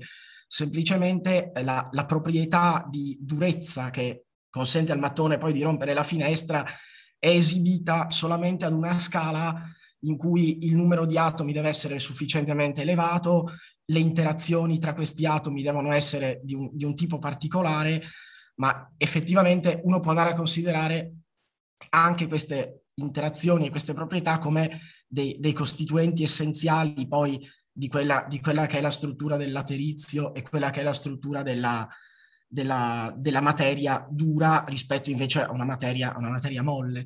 Quindi mi domandavo, diciamo, per, per tornare a livello di, di, coscienza, a livello della, della, coscienza, se vi siano mai state eh, delle argomentazioni filosofiche, diciamo, più pregnanti riguardo all'impossibilità di eh, descrivere il comportamento cosciente semplicemente, tra virgolette, come un comportamento di molte parti essenziali ma fortemente interagenti tra loro, invece che eh, semplicemente eh, considerare questo, questa forma riduzionistica come una semplice decomposizione in parti sempre più elementari, senza però tenere conto de- della possibilità che una certa proprietà sia esibita solamente quando queste parti sono presenti in grande numero o presenti in, in particolare interazione reciproca. Non so se, se è chiara la, la questione. Eh, posso provare a risponderti io? Ciao, innanzitutto. Ehm, tu ti stai riferendo alle parti minime, cioè minime a tal punto da arrivare a livello atomico, giusto? quando tu stavi parlando appunto della coscienza, potrebbe anche essere eh, pensata come interazioni tra parti che vanno però a livello atomico o addirittura subatomico e comunque si tratta di, eh, di parti fisiche, se questa è la domanda. Diciamo, in realtà mi riferivo a, a parti eh, di, di, di, carattere, cioè a, a, elementi funzionali, come potrebbe essere per esempio il, il singolo neurone o comunque la, la singola sinapsi, quel tipo di parti che però effettivamente eh, nulla vieta di, di, descrivere come dei, dei, sistemi a loro volta composti eh, di parti ancora più piccole che esibiscono okay. delle determinate proprietà. Però, diciamo, mm, per, per, per quanto la, la, mia conoscenza sia scarsa eh, a riguardo, penso che se si scende al di sotto del livello di singolo neurone non sia così facile arrivare a modellare eh, quelli che potrebbero essere i, com- i comportamenti rilevanti per quanto, per quanto riguarda la, l'esperienza cosciente. Esatto, il problema è proprio questo, nel senso che se parliamo di neuroni eh, e, e, siamo ancora in un framework riduzionista, al di sotto dei neuroni, a livello di appunto livello, quindi ancora più a grana fine, quello che abbiamo sono semplicemente ehm, eh, numeri, cioè nel senso noi va, a, a, potremmo addirittura ridurre l'attività neurale a uh, una soglia che viene raggiunta per poi sparare il potenziale d'azione, quindi i famosi 70 millivolt. Eh, in quel caso, cioè alla fine, eh, se tu hai detto che sei comunque studente di intelligenza artificiale, se ti fai caso anche le reti neurali funzionano in quel modo, nel senso ciascun nodo chiaramente pesato a dovere, data poi la somma di quello che succede negli strati precedenti, allora spara l'output, eccetera, eccetera. Questo è esattamente lo stesso concetto. Qual è il problema? Il problema del riduzionismo è che eh, mh, quello diciamo che mh, eh, l'argomentazione diciamo più, più, comune è che la somma delle parti anche a grana fine, quindi addirittura anche la somma delle parti numeriche, in questo caso la somma proprio delle computazioni di un neurone per sparare il potenziale d'azione, così come la somma delle, eh, degli input in entrata di un nodo di una rete per poi sparare l'output, l'output dato un certo peso, eh, non sono sufficienti per spiegare la totalità di fenomeni complessi come quelli della coscienza perché eh, per esempio il, um, eh, c'è un, un, progetto che si propone adesso, cioè recentemente, anzi attuale, di replicare il cervello su scala computazionale, quindi di costruire un cervello simulandone tutte le computazioni. E la maggior parte dei filosofi coinvolti in questo progetto dicono eh, ma dov'è il cervello? Questo è solo un simulacro computazionale del cervello, nel senso che è eh, Mm, non so se è impossibile perché non mi permetterei mai di dire ma guarda qualcuno ci riesce, però è molto improbabile che scendere di livello al punto da eliminare addirittura il sostrato fisico e arrivare alla parte computazionale, quindi numeri, eh, così appunto a grana fine, così di basso livello, eh, modellizzando questa cosa è quasi, cioè è molto improbabile che si riescano a modellizzare fenomeni così complessi come la coscienza, perché alla fine tu stai riducendo un sistema altamente complesso ehm, che non è solo calcolo, ma che non è neanche solo atomo, ma che non è anche solo neurone che interagisce con un altro neurone, eh, tu stai cercando appunto di ridurre un fenomeno così complesso come la coscienza, che è anche dovuto all'ambiente, alla, eh, all'interazione che si ha con l'ambiente, alla plasticità, a, all'esperienza, eh, che quindi mh, mm, ecco, il punto di, la parte filosofica diciamo ti direbbe questa cosa, più scendi ehm, più scendi di livello, più omogenizzi tutto e meno chiaramente potenza esplicativa hai, se, se sono riuscita a rispondere alla tua domanda. Grazie. Questo è quello che, quello, questo è quello che, insomma, che ti verrebbe risposto. Grazie. Io aggiungerei una cosa, se posso, eh, prendendola proprio da un angolo completamente diverso. Io non sono molto impressionata, cioè diciamo non, non mi appassiona così tanto la, la domanda di come si realizza da un punto di vista neurale la coscienza, perché faccio un mestiere diverso, ovviamente è una domanda interessantissima da un punto di vista delle neuroscienze. Però il punto non è tanto come realizziamo la coscienza da un punto di vista neurale, perché un modo ci deve essere, qui nessuno è più dualista cartesiano e pensa che ci sia una sostanza pensante staccata dalla sostanza corporea e quindi che il cervello in qualche modo non realizzi la coscienza è ovvio che in qualche modo lo realizzerà e se la realizza prima o poi capiremo come. È possibile che solo un organo biologico possa realizzare la coscienza e che questo non sia riproducibile se non eh, appunto con materiale biologico, questo non lo so, eh, però una cosa è la realizzazione, un'altra cosa però è la comprensione del fenomeno, nel senso che il, il, il dilemma da un punto di vista esplicativo è, eh, va bene, ma una volta che io ho realizzato la coscienza, questa che cosa fa, come lavora, cioè il vero eh, problema, cioè anche il professor Massimini quando ha chiuso ha slegato il problema della funzione dal problema della coscienza. Ci ha detto state attenti perché se noi adesso badiamo solo alle funzioni, un grande computer, una rete neurale svolge esattamente le stesse funzioni cognitive, anzi un po' meglio, gioca anche a scacchi sicuramente meglio di me. Quindi le funzioni possono essere in parte simulate eh, ma il, il fatto che ci sia la funzione non significa che ci sia la coscienza. Questo però, adesso metto insieme anche il talk del professor Sozzi, lui ci dice invece, beh, noi misuriamo come neuropsicologi le funzioni, quindi effettivamente anche la funzione conta.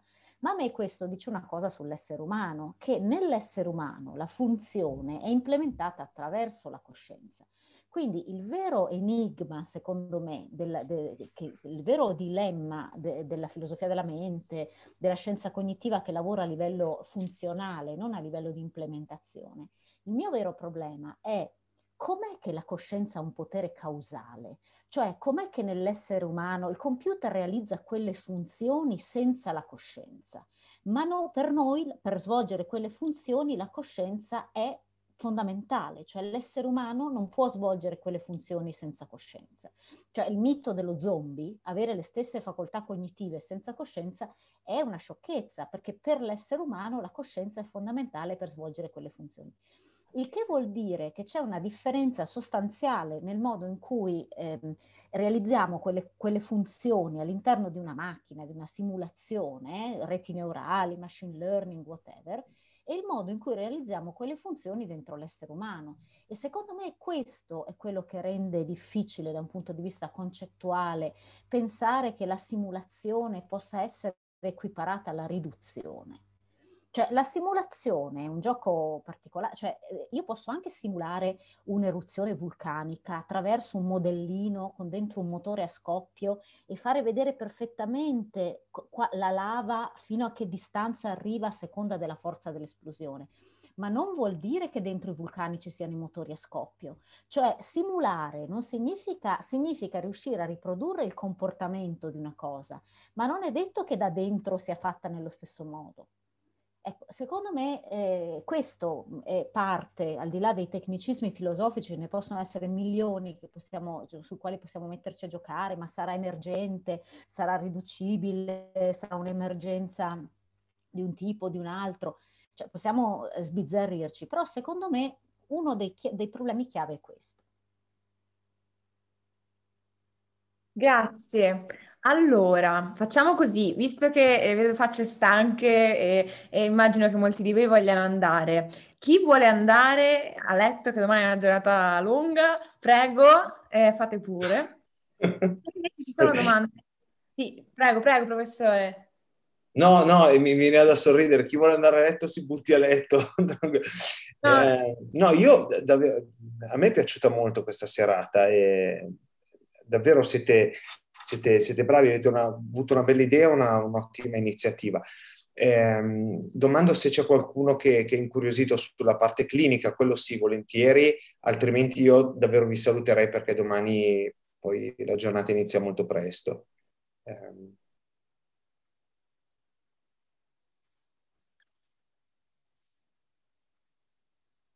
3, 2, 1, domande? E via. Via.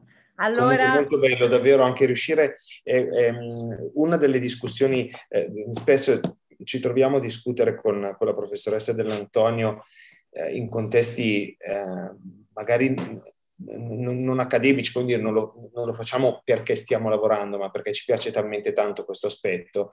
Eh, e davvero l'idea è continuare a dibattere rispetto a questa multicomponenzialità del concetto di coscienza, cioè eh, di fatto c'è una difficoltà tale nel riuscire a inquadrare il concetto di coscienza e forse è proprio questo il fascino eh, no? della, della, scienza della coscienza, dello studio della coscienza, il fatto di non riuscire a trovare una cosa che la definisca in maniera, eh, come dire, ferma e, e, e immobile, eh, ma di fatto è così, è ciò che ci rappresenta, forse è l'essenza di quello che rappresenta l'essere umano.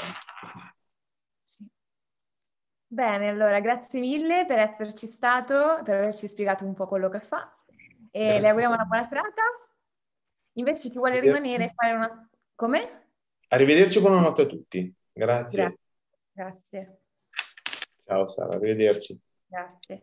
Appunto, dovessero esserci altre domande, ci teniamo gli ultimi 5 minuti così e poi andiamo anche noi che siamo tutti stanchi.